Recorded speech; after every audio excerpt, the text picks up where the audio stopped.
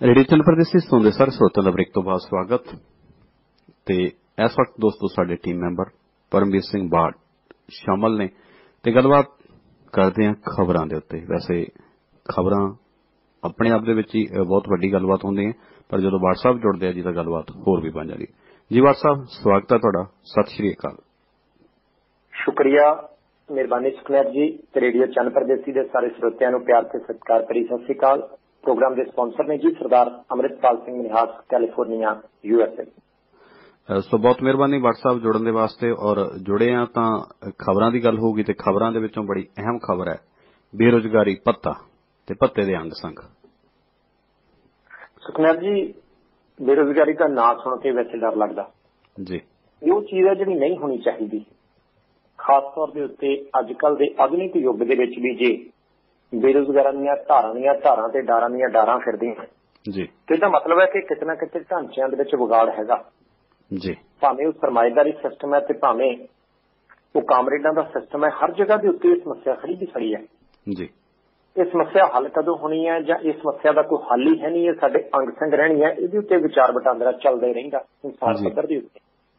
ਸਹੀ। ਪਰ ਆਪਾਂ ਸੰਸਾਰ ਪੱਧਰ ਤੋਂ ਭਾਰਤ ਦੇ ਵਿੱਚ ਆਉਨੇ ਆ ਭਾਰਤ ਚੋਂ ਪੰਜਾਬ ਚ ਆਉਨੇ ਆ ਜੀ।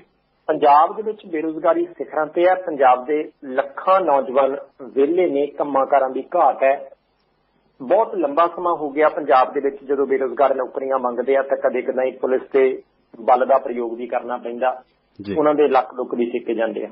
ਉਹਨਾਂ ਨੂੰ ਵੀ। ਕਹਿੰਦੇ ਭਾਈ ਤੁਹਾਨੂੰ ਨੌਕਰੀਆਂ ਕਦੇ ਵਾਸਤੇ ਦਿੱਤੀਆਂ ਕੰਮ ਤਾਂ ਕਰ ਲਓ। ਉਹ ਵੱਖਰੀ ਗੱਲ ਹੈ ਸੁਖਨੈਬ ਜੀ ਕਿ ਪੰਜਾਬ ਦੇ ਵਿੱਚ ਹੋਰਨਾਂ ਸੂਬਿਆਂ ਤੋਂ ਆ ਕੇ ਲੱਖਾਂ ਲੋਕਾਂ ਨੇ ਰੋਜ਼ਗਾਰ ਵੀ ਪ੍ਰਾਪਤ ਕੀਤਾ ਹੋਇਆ। ਜੀ। ਪੰਜਾਬ ਦੇ ਲੱਖਾਂ ਬੇਰੁਜ਼ਗਾਰ ਤੇ ਦੂਜੇ ਪਾਸੇ ਬਾਕੀ ਸੂਬਿਆਂ ਤੋਂ ਪੰਜਾਬ ਦੇ ਵਿੱਚ ਆ ਕੇ ਲੱਖਾਂ ਲੋਕ ਜਿਹੜੇ ਰੋਜ਼ਗਾਰ ਤੇ ਕਿੱਤਿਆਂ ਤੇ ਲੱਗੇ ਵੀ ਹੋਏ ਨੇ।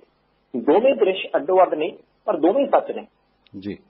ਹੁਣ ਪੰਜਾਬ ਦੇ ਵਿੱਚ ਜਿਹੜੇ ਬੇਰੁਜ਼ਗਾਰ ਨੇ ਉਹਨਾਂ ਨੂੰ ਸਰਕਾਰ ਕੀ ਦਿੰਦੀ ਹੈ? ਸਰਕਾਰ ਦਾ ਉਹਨਾਂ ਦੇ ਪ੍ਰਤੀ ਰਵੱਈਆ ਕੀ ਹੈ? ਦ੍ਰਿਸ਼ਟੀਕੋਣ ਕੀ ਹੈ?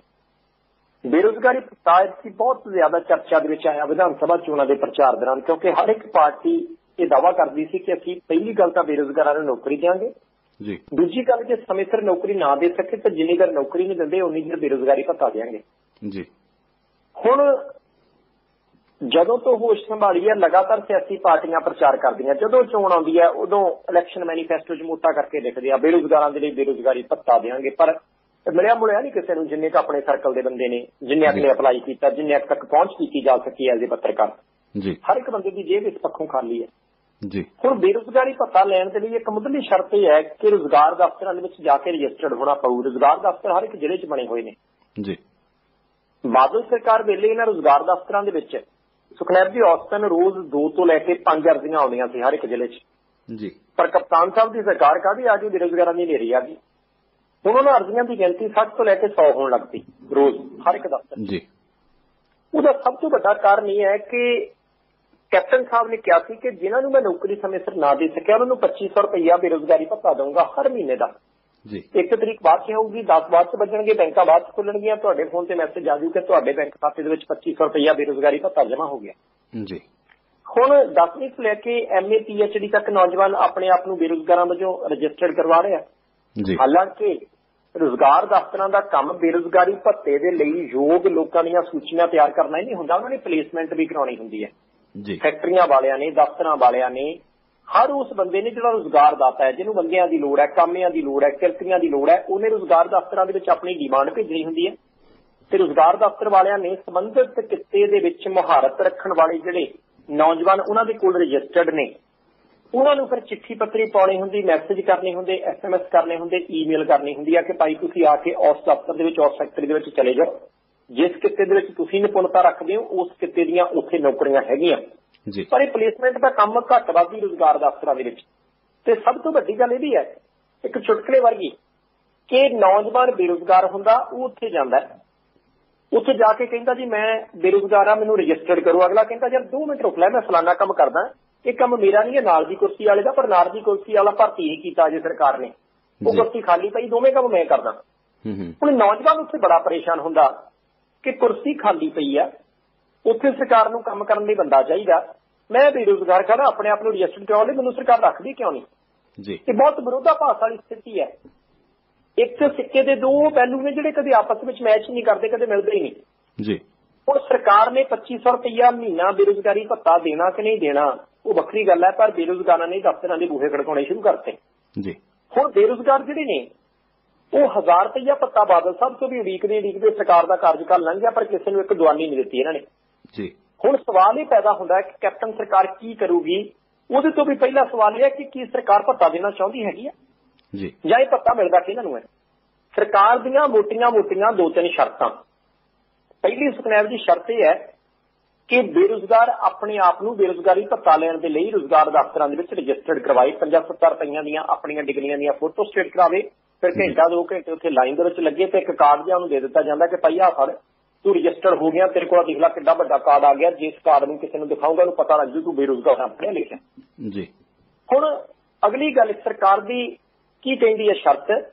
ਕਿ ਤੁਸੀਂ ਹਰ ਸਾਲ ਆਪਣੇ ਆਪ ਨੂੰ ਰੀਨਿਊ ਕਰਾਉਣਾ ਹੈ, ਆਪਣਾ। ਕਾਰਡ ਲੈ ਕੇ ਆਉਣਾ ਹੈ ਕਿ ਪੁਰਾਣਾ ਕਾਰਡ ਹੋ ਗਿਆ ਸਾਲ ਮੁਕੰਮਲ ਹੋ ਗਿਆ ਅਗਲੇ ਸਾਲ ਲਈ ਮੈਨੂੰ ਰਜਿਸਟਰ ਫੇਰ ਕਰ ਦਿਓ ਨਵਿਆ ਲਓ ਜਦੋਂ ਕਹਿੰਦੇ ਤੁਹਾਨੂੰ 3 ਸਾਲ ਮੁਕੰਮਲ ਹੋ ਜਾਂਦੇ ਆ ਫਿਰ ਤੁਸੀਂ ਬੇਰੁਜ਼ਗਾਰੀ ਭੱਤਾ ਲੈਣ ਦੇ ਹੱਕਦਾਰ ਹੋ। ਜੀ। ਮਿਲਣਾ ਫਿਰ ਵੀ ਨਹੀਂ। ਅੱਗੇ ਦੀ ਇੱਕ ਸ਼ਰਤ ਹੈ। ਅੱਛਾ। ਉਹ ਸ਼ਰਤ ਬੜੀ ਅਜੀਬੋ-ਗਰੀਬ ਹੈ। ਜੀ। ਸ਼ਰਤ ਇਹ ਹੈ ਕਿ ਤੁਹਾਡਾ ਜਿਹੜਾ ਸਾਰੇ ਦਾ ਸਾਰਾ ਬੇਰੁਜ਼ਗਾਰ ਦਾ ਪਰਿਵਾਰ ਹੈ ਉਹ 1000 ਰੁਪਇਆ ਪ੍ਰਤੀ ਮਹੀਨਾ ਤੋਂ ਵੱਧ ਕਮਾਉਂਦਾ ਨਾ ਹੋਵੇ। ਕੀ ਬਾਤ ਹੈ। ਹੁਣ ਇਹ ਸ਼ਰਤ ਇੱਕ ਐਸੀ ਸ਼ਰਤ ਹੈ ਕਿ ਜਿਹੜਾ ਟੱਬਰ ਮੰਨ ਲੈਨੇ 4 ਜੀ ਆ ਕਿਸੇ ਦੇ 5-6 ਵੀ ਹੋਣਗੇ ਦਾਦਾ ਦਾਦੀ ਕਿਹੜਾ ਆਪਾਂ ਚੜਾਈ ਕਰਾ ਦੇਣੀ ਹੈ ਕਿ ਭਾਈ ਮੈਂ ਬੇਰੁਜ਼ਗਾਰ ਤੁਸੀਂ ਚਲੋ ਭਾਈ ਉੱਪਰ ਨੂੰ। ਹੂੰ ਪੰਜ ਪੰਜ ਸੌ ਤਾਂ ਉਹਨਾਂ ਨੂੰ ਵੀ ਪੈਨਸ਼ਨ ਮਿਲਦੀ ਹੈ ਜੀ। ਕਦੇ ਕਦੇ ਜੀ। ਹੁਣ ਸੁਖਨੈਬ ਜੀ ਹਾਲਾਤ ਇਹ ਨੇ ਕਿ ਜਿਹੜੇ ਟੱਬਰ ਦੀ 3 ਸਾਲ 1000 ਰੁਪਇਆ ਮਹੀਨਾ ਆਮਦਨ ਹੋ ਉਹ ਟੱਬਰ ਭੁੱਖਾ ਹੀ ਮਰ ਜੂ ਉਹ ਬਚੂ ਹੀ ਨਹੀਂ। ਜੀ। 15-1600 ਨੂੰ ਕਣਕ ਕੁਇੰਟਲ ਦੀ ਹੈ 150 ਨੂੰ ਸਾਡੇ ਦਾਲ ਮਿਲਣੀ ਹੈ 6-700 ਨੂੰ ਗੈਸ ਵਾਲਾ ਸਿਲੰਡਰ ਮਿਲਣਾ। ਜੇ ਸਿਲੰਡਰ ਨਹੀਂ ਕਿਸੇ ਦੇ 3 ਰੁਪਈਆਂ ਦੀ ਪਿੰਡਾਂ ਦੇ ਵਿੱਚੋਂ ਪਾਥੀ ਮਿਲਦੀ ਇੱਕ ਇਹਦੇ ਨਾਲ ਨਾਲ ਕੋਈ ਮਾੜਾ ਮੋਟਾ ਤੁੜਕਾ ਛੁੜਕਾ ਵੀ ਲਾਵਾਂਗੇ ਕੋਈ ਇੱਕ ਅੱਧਾ ਬਲਬ ਬਿੱਲ ਬੱਤੀ ਵੀ ਕੋ ਦੇਣੀ ਹੈ ਪਾਣੀ ਦਾ ਖਰਚਾ ਦੇਣਾ 1000 ਰੁਪਏ ਵਾਲਾ ਬੰਦਾ ਸਰਵਾਈਵ ਹੀ ਨਹੀਂ ਕਰ ਸਕਦਾ ਪੰਜਾਬ 'ਚ। ਜੀ। ਸੋ ਸਿੱਧੇ ਤੌਰ ਦੇ ਉੱਤੇ ਇਹ ਜਿਹੜੀ ਸਰਕਾਰਾਂ ਦੀ ਨੀਤੀ ਪਿਛਲੇ ਲੰਬੇ ਸਮੇਂ ਤੋਂ ਚੱਲੀ ਆਉਂਦੀ ਹੈ ਉਹ ਸੁਖਨੈਬ ਜੀ ਮੈਨੂੰ ਲੱਗਦਾ ਕਿ ਬੇਰੁਜ਼ਗਾਰੀ ਭੱਤਾ ਦੇਣ ਦੀ ਨੀਤੀ ਨਹੀਂ ਹੈਗੀ। ਉਹ ਬੇਰੁਜ਼ਗਾਰੀ ਭੱਤਾ ਨਾ ਦੇਣ ਦੀ ਨੀਤੀ ਹੈ। ਜੀ। ਉਹ ਪੰਜਾਬ ਦੇ ਨੌਜਵਾਨਾਂ ਨੂੰ ਜਲੀਲ ਕਰਨ ਦੀ ਨੀਤੀ ਹੈ ਕਿ ਭਾਈ ਤੁਸੀਂ ਪਹਿਲਾਂ 5-7 ਰੁਪਏ ਆਪਣੀਆਂ ਫੋਟੋ ਸਟੇਟਾਂ ਤੇ ਖਰਚੋ। ਬਾਅਦ ਚ 50-100 ਰੁਪਇਆ ਕਿਰਾਇਆ ਭਾੜਾ ਪੱਟੋ ਜ਼ਿਲ੍ਹਾ ਹੈੱਡਕੁਆਟਰ ਆਓ ਬੇਰੁਜ਼ਗਾਰ ਦਾ ਜਿਹੜੀ ਦਰਜ ਹੋਣ ਦੇ ਲਈ ਰੁਜ਼ਗਾਰ ਦਫ਼ਤਰ ਦੇ ਵਿੱਚ ਪਹੁੰਚੋ ਉੱਥੇ ਘੰਟਾ ਖੜੇ ਹੋ ਕੇ ਜਲੀਲ ਹੋਵੋ ਉਹਦੇ ਤੋਂ ਬਾਅਦ ਇੱਕ ਕਾਰਡ ਲੈ ਕੇ ਜਾਓ ਕਾਰਡ ਲੈ ਕੇ ਫੁੱਲੇ ਨਾ ਸਮਾਓ ਕਿਉਂਕਿ ਤੁਸੀਂ ਬੇਰੁਜ਼ਗਾਰ ਵਜੋਂ ਰਜਿਸਟਰਡ ਹੋ ਗਏ। ਜਦੋਂ ਤੁਹਾਡੇ 3 ਸਾਲ ਮੁਕੰਮਲ ਹੋ ਜਾਣਗੇ ਧੱਕੇ ਖਾਂਦਿਆਂ ਦੇ ਫਿਰ ਤੁਹਾਨੂੰ ਅਸੀਂ 1000 ਰੁਪਏ ਜਾਂ 2500 ਰੁਪਇਆ ਦੇਣਾ ਦੇਣਾ ਤਾਂ ਆ ਜੇ ਤੁਸੀਂ 1000 ਰੁਪਇਆ ਟੱਬਰ ਵਾਲੇ ਸਾਰੇ ਕਮਾਉਂਦੇ ਹੋਵੋਗੇ ਪਰ ਫਿਰ ਵੀ ਤੁਹਾਡੀ ਜਾਨ ਨਹੀਂ ਨਿਕਲੂ ਭੁੱਖ ਨਾਲ। ਜੀ। ਹੁਣ ਜਿਹੜੇ ਸੂਬੇ ਦੇ ਵਿੱਚ ਨੌਜਵਾਨਾਂ ਦੇ ਨਾਲ ਇਦਾਂ ਦਾ ਵਿਵਹਾਰ ਕੀਤਾ ਜਾਂਦਾ ਹੈ ਉੱਥੋਂ ਦਾ ਨੌਜਵਾਨ ਅੰਧ ਵਿਸ਼ਵਾਸੀ ਵੀ ਬਣ ਸਕਦਾ। ਉੱਥੋਂ ਦਾ ਨੌਜਵਾਨ ਗੈਰ ਸਮਾਜਿਕ ਗਤੀਵਿਧੀਆਂ 'ਚ ਵੀ ਲੱਗ ਸਕਦਾ। ਉੱਥੋਂ ਦਾ ਨੌਜਵਾਨ ਨਸ਼ਿਆਂ 'ਚ ਵੀ ਜਾ ਸਕਦਾ। ਘੱਟੋ। ਘੱਟ ਆਪਾਂ ਇੰਨੀ ਗੱਲ ਸਮਝਣ ਦੇ ਯੋਗ ਹਾਂ ਕਿ ਉੱਥੋਂ ਦੇ ਬਹੁਤ ਗਿਣਤੀ ਨੌਜਵਾਨ ਮਾਨਸਿਕ ਤੌਰ ਤੇ ਬਹੁਤੇ ਮਜ਼ਬੂਤ ਨਹੀਂ ਹੋਣਗੇ ਜਿਨ੍ਹਾਂ ਨੂੰ ਜੀ। ਧੱਕੇ ਪੈਣਗੇ। ਬਾਦ ਸਾਹਿਬ ਸੋ ਤੁਸੀਂ ਗੱਲ ਕੀਤੀ ਹੈ ਸੌਰੀ ਮੈਂ ਇੰਟਰਰਪਟ ਕਰਦਾ। ਇੱਕ ਹਫ਼ਤੇ ਦੇ ਵਿੱਚ ਹਜੇ ਇੱਕ ਭੋਗ ਪੈ ਗਿਆ ਦੋ ਰਹਿੰਦੇ ਆ। ਕੱਲੇ ਸਾਡੇ ਪਿੰਡ ਦੇ ਵਿੱਚ ਤਿੰਨ ਮੌਤਾਂ ਹੋ ਚੁੱਕੀਆਂ। ਤਿੰਨੇ ਜਵਾਨ ਨੇ ਦੋ ਮੁੰਡੇ ਸੀ ਨਸ਼ੇ ਪੱਤੇ ਦੀ- ਦੌਰ ਚੱਲਿਆ ਇੱਕ ਕੁੜੀ ਸੀ ਉਹ ਵੀ ਮੈਂਟਲੀ ਅਪਸੈਟ ਸੀ। ਦੌਰ ਤਾਂ ਸਹੀ ਗੱਲ ਹੈ ਤੁਹਾਡੀ ਇਹੋ ਜਿਹੇ ਹੋ ਰਹੇ ਨੇ। ਜੀ।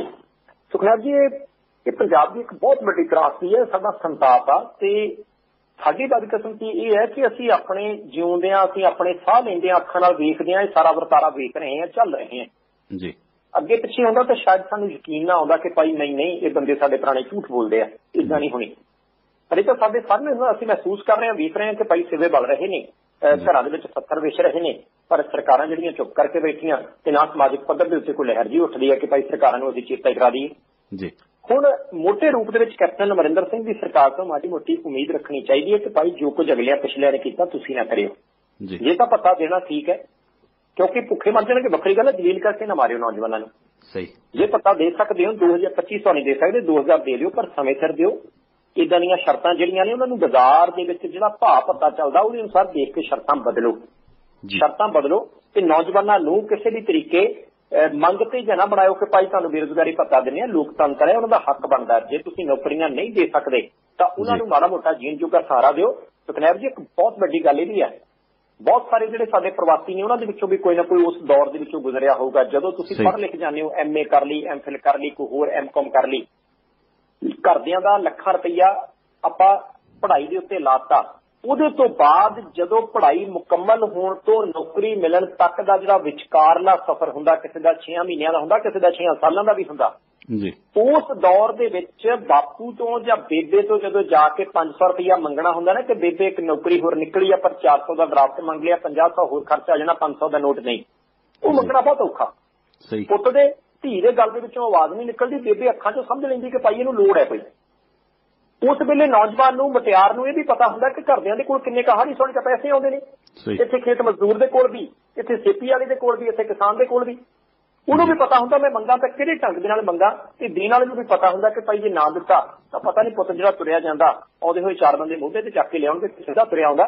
ਤਾਂ ਕਿਤੇ ਨਾ ਕਿਤੇ ਸਰਕਾਰਾਂ ਸੰਜੀਦਾ ਹੋਣ ਇਸ ਮਸਲੇ ਦੇ ਉੱਤੇ, ਨਹੀਂ ਤਾਂ ਪੰਜਾਬ ਦਾ ਨੌਜਵਾਨ ਬਹੁਤ ਜ਼ਿਆਦਾ ਨਿਰਾਸ਼ਾਮਈ ਸਥਿਤੀ ਜੋ ਗੁਜ਼ਰ ਰਿਹਾ। ਬਿਲਕੁਲ ਜੀ, ਬਹੁਤ ਤੁਸੀਂ ਇਸ ਮਾਮਲੇ ਨੂੰ ਵਧੀਆ ਤਰੀਕੇ ਦੇ ਨਾਲ ਸਾਹਮਣੇ ਲਿਆਂਦਾ। ਜ਼ਰੂਰਤ ਬਹੁਤ ਹੈ ਵਾਟ ਸਾਹਿਬ ਇਹਨਾਂ ਗੱਲਾਂ ਨੂੰ ਸਮਝਣ ਦੀ, ਪਰ ਸਾਡੇ ਸਿਆਸਤਦਾਨ ਉਹ ਨਵਾਂ ਭੰਬਲ ਭੁੱਸਾ ਪੈਦਾ ਕਰਨ ਦੇ ਵਿੱਚ ਲੱਗੇ ਹੋਏ ਨੇ। ਹੱਲ ਨਹੀਂ ਕਰਨਾ। ਕਰਨਾ ਨਹੀਂ ਚਾਹੁੰਦੇ ਹੋਣੇ ਨਹੀਂ ਤਾਂ ਕੋਈ ਬਹੁਤੀ ਵੱਡੀ ਗੱਲ ਵੀ ਨਹੀਂ ਹੈ। ਰਹੀ ਗੱਲ ਅਡੰਬਰਾਂ ਦੀ ਕਿਤੇ ਕੁਛ ਤੇ ਕਿਤੇ ਕੁਛ।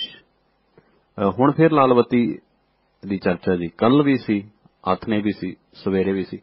ਲਾਲਵਤੀ ਦਾ ਚੱਕਰ ਜਾਂ ਉਵੇਂ ਜਿਹਾ ਹੋਇਆ ਪਿਆ ਕਿਤੇ ਆ ਜਾਂਦੀ ਹੈ ਕਿਤੇ ਹਟ ਜਾਂਦੀ ਹੈ। ਸੁਖਨੈਬ ਜੀ ਇਹ ਤਾਂ 15 ਕੁ ਸਾਲ ਪਹਿਲਾਂ ਦੀ ਪੰਜਾਬ ਦੇ ਵਿੱਚ ਬਿਜਲੀ ਦੀ ਜਿਹੜੀ ਸਥਿਤੀ ਉਦਾਂ ਦਾ ਮਸਲਾ ਸੀ ਜਦੋਂ ਬੰਦਾ ਬਲ-ਬਲ ਹੀ ਦੇਖਦਾ ਰਹਿੰਦਾ ਸੀ ਆ ਗਈ ਬੱਤੀ ਕਿ ਚਲ ਗਈ ਬੱਤੀ। ਜੀ। ਹੁਣ ਲਾਲ ਬੱਤੀ ਵਾਲਾ ਮਸਲਾ ਵੀ ਉਦਾਂ ਦਾ ਹੋ ਗਿਆ। ਕਪਤਾਨ ਦੀ ਸਰਕਾਰ ਦਾ ਪੂਰੇ ਭਾਰਤ ਵਿੱਚ ਚਰਚਾ।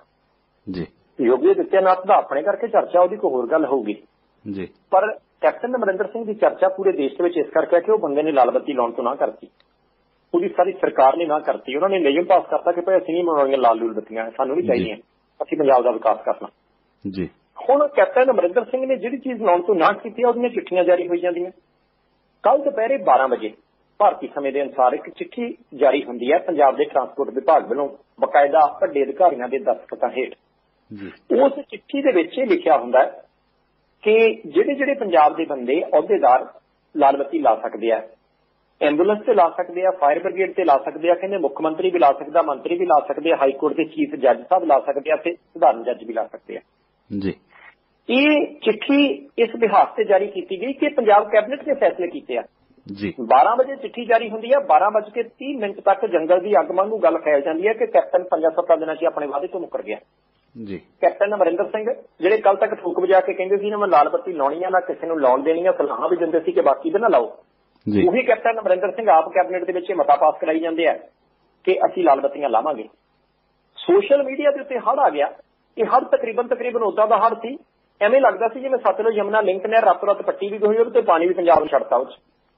ਭਰੀ ਵੀ ਨਕੋ ਨਕ ਜੀ ਬਾਅਦ ਵਿੱਚ ਸ਼ਾਮੀ 5 ਵਜੇ ਦੇ ਕਰੀਬ ਇਹ ਚਿੱਠੀ ਵਾਪਸ ਲੈ ਲਈ ਸੀ ਜੀ। ਤੇ ਜਿਹੜੇ ਅਧਿਕਾਰੀ ਨੇ ਇਸ ਟਰਾਂਸਪੋਰਟ ਵਿਭਾਗ ਦੇ ਸਰਜੀਤ ਸਿੰਘ ਉਹਨਾਂ ਨੇ ਪੁਸ਼ਟੀ ਵੀ ਕੀਤੀ ਕਹਿੰਦੇ ਪੱਤਰ ਜਾਰੀ ਹੋ ਗਿਆ ਸੀ ਦੁਪਹਿਰੇ ਪਰ ਅਸੀਂ ਸ਼ਾਮ ਨੂੰ ਵਾਪਸ ਲੈ ਲਿਆ। ਹੁਣ। ਕੈਪਟਨ ਅਮਰਿੰਦਰ ਸਿੰਘ ਹੋਰਾਂ ਨੇ ਉਸ ਚਿੱਠੀ ਨੂੰ ਜਾਰੀ ਕਰਨ ਵਾਲੇ ਅਧਿਕਾਰੀ ਦੀ ਬਦਲੀ ਵੀ ਕਰਤੀ ਕਹਿੰਦੇ ਨਹੀਂ ਭਾਈ ਤੁਸੀਂ ਕੁਤਾਈ ਕੀਤੀ ਆ 5-7 ਘੰਟੇ ਸਾਡੀਆਂ ਰੱਜ ਕੇ ਭੱਜੀਆਂ ਉੜੀਆਂ ਤੁਹਾਨੂੰ ਅਸੀਂ ਉਸ ਵਿਭਾਗ 'ਚ ਰਹਿਣ ਨਹੀਂ ਦੇਣਾ। ਜੀ। ਹੁਣ ਇਹ ਕਿਤੇ ਕਿਤੇ ਮੈਨੂੰ ਸੁਖਨੈਰ ਜੀ ਇਹ ਵੀ ਲੱਗਦਾ ਕਿ ਬਹੁਤ ਸਾਰੇ ਅਧਿਕਾਰੀ ਬਹੁਤੇ ਕੰਮਾਂ ਨੂੰ ਸੰਜੀਦਗੀ ਨਾਲ ਲੈਂਦੇ ਹੀ ਨਹੀਂ। ਜੀ। ਉਹਨਾਂ ਅਧਿਕਾਰੀਆਂ ਨੂੰ ਇਹ ਵੀ ਕਿਤੇ ਨਾ ਕਿਤੇ ਲੱਗਦਾ ਹੋਵੇਗਾ ਕਿ ਭਾਈ 2012 ਦੇ ਵਿੱਚ ਜਦੋਂ ਕੈਪਟਨ ਅਮਰਿੰਦਰ ਸਿੰਘ ਹੋਰੀ ਨਹੀਂ ਸੀ ਬਣ ਸਕੇ ਪ੍ਰਕਾਸ਼ ਸਿੰਘ ਬਾਦਲ ਮੁੱਖ ਮੰਤਰੀ ਦੁਬਾਰਾ ਬਣ ਗਿਆ ਸੀ। ਉਹਨਾਂ ਨੇ ਜਿਹੜੇ ਜਿਹੜੇ ਹੁਕਮ ਦਿੱਤੇ ਸੀ ਉਹੀ ਐਤਕੀ ਹੋਣੇ ਆ। ਮੈਨੂੰ ਲੱਗਦਾ ਪੁਰਾਣੇ ਫੋਲਡਰ ਦੇ ਵਿੱਚੋਂ ਚਿੱਠੀ ਕੱਢੀ ਹੋਣੀ ਹੈ ਉਸ। ਚਿੱਠੀ ਦੇ ਵਿੱਚ ਤਰੀਕ ਬਦਲੀ ਹੋਣੀ ਹੈ ਮੁੱਖ ਮੰਤਰੀ ਦਾ ਨਾਮ ਬਦਲਿਆ ਹੋਣਾ ਅਧਿਕਾਰੀ ਦਾ ਨਾਮ ਬਦਲਿਆ ਹੋਣਾ ਉਹਦੀ ਚੱਕ ਦਿੱਤੀ ਹੋਣੀ ਵਿੱਚ ਵੇਖਿਆ ਨਹੀਂ ਕਿ ਭਾਈ ਮੁੱਖ ਮੰਤਰੀ ਤੇ ਮੰਤਰੀਆਂ ਦੇ ਨਾਮ ਆਪਾਂ ਕੱਟਣੇ ਆ। ਜੀ। ਉਹ ਚਿੱਠੀ ਜਾਰੀ ਹੋ ਗਈ। ਹੁਣ ਜਿੰਨੀ ਕੁ ਸੰਜੀਦਗੀ ਇੱਕ ਸਰਕਾਰੀ ਚਿੱਠੀ ਉਹ ਵੀ ਇਸ ਬਿਹਾਫ ਦੇ ਉੱਤੇ ਕਿ ਕੈਬਨਿਟ ਨੇ ਮਤਾ ਪਾਸ ਕੀਤਾ ਜਾਰੀ ਕਰ ਦਿੱਤੀ ਗਈ ਇਹਦੇ ਤੋਂ ਪਤਾ ਲੱਗਦਾ ਕਿ ਆਮ ਸਧਾਰਨ ਫੈਸਲਿਆਂ ਦੇ ਵਿੱਚ ਕਿੰਨੀਆਂ ਕੋਤਾਹੀਆਂ ਵਰਤੀਆਂ ਜਾਂਦੀਆਂ ਹੋਣਗੀਆਂ। ਜੀ। ਉਧਰ ਸੁਖਨੈਬ ਜੀ ਕੁਝ ਟ੍ਰੈਫਿਕ ਪੁਲਿਸ ਨੇ ਵੀ ਹੁਣ ਸਖਤੀ ਕੀਤੀ ਹੈ ਪੰਜਾਬ ਦੇ ਵੱਡੇ ਸ਼ਹਿਰਾਂ ਦੇ ਵਿੱਚ ਨਾਕੇ ਲਾ ਕੇ ਜਿਹੜੇ ਲਾਲ ਬੱਤੀਆਂ ਲਾ ਕੇ ਘੁੰਮਦੇ ਫਿਰਦੇ ਉਹਨਾਂ ਦੀ ਚੈਕਿੰਗ ਸ਼ੁਰੂ ਕਰਤੀ। ਜੀ। ਇਹ ਚੈਕਿੰਗ ਬਹੁਤ ਜ਼ਰੂਰੀ ਹੈ। ਉਹਦੇ ਦੋ ਕਾਰਨ ਨੇ। ਇੱਕ ਮੰਤਰੀਆਂ ਦੇ ਤੇ ਅਧਿਕਾਰੀਆਂ ਦੇ ਪੁੱਤ ਪੋਤੇ ਰਿਸ਼ਤੇਦਾਰ ਸੱਜਣ ਮਿੱਤਰ ਜੋ ਲੱਕੜੀ ਫਾਕੜੀ ਹੈ। ਸਾਰਿਆਂ ਦੀ ਇਹੀ ਕੋਸ਼ਿਸ਼ ਹੁੰਦੀ ਸੀ ਕਿ ਭਾਈ ਆਪਾਂ ਕੋਈ ਗੱਲ ਨਹੀਂ ਲਾਲ ਬੱਤੀ ਆਪਣੀ ਖਰੀਦ ਲੈਂਦੇ ਆ ਲਾ ਕੇ। ਘੁੰਮਦੇ ਆ। ਜੇ ਕੋਈ ਬੰਦਾ ਰੁਕੂਗਾ ਤਾਂ ਆਪਾਂ ਟੈਲੀਫੋਨ ਮੰਤਰੀ ਸਾਹਿਬ ਦਾ ਜਾਂ ਅਫਸਰ ਦਾ ਆਪਾਂ ਕਰਨੇ ਉਹਦੇ ਲਾ ਦੇਣਾ ਸਾਨੂੰ ਕਿਹੜਾ ਰੋਕ ਲੂ? ਜੀ। ਇਹਦੇ ਨਾਲ ਨਾਲ ਇਹ ਚਰਚਾ ਵੀ ਸਿਖਰਾਂ ਤੇ ਸੀ ਕਿ ਲਾਲ ਬੱਤੀ ਵਾਲੀਆਂ ਗੱਡੀਆਂ ਦੇ ਵਿੱਚ ਪਿਛਲੇ ਸਮੇਂ ਦੇ ਵਿੱਚ ਸੁਖਨਾ ਖੂਬ ਨਸ਼ਾ ਢੋਇਆ ਗਿਆ ਚਿੱਟਾ ਕਾਲਾ ਜੋ ਵੀ ਹੈਗਾ। ਜੀ। ਤੇ ਕਈ ਲਾਲ ਬੱਤੀ ਵਾਲੀਆਂ ਗੱਡੀਆਂ ਮਹਿੰਗੀਆਂ ਮਹਿੰਗੀਆਂ 15-20 ਲੱਖ ਦੀਆਂ ਫੜੀਆਂ ਵੀ ਗਈਆਂ। ਜੀ। ਲਾਲ ਬੱਤੀ ਲੱਗੀ ਹੋਈ ਹੈ ਤੇ ਵਿੱਚ ਸਮਾਨ ਦੂਜਾ ਪਿਆ ਕਾਲਾ ਕਾਲਾ ਜਿਹਾ।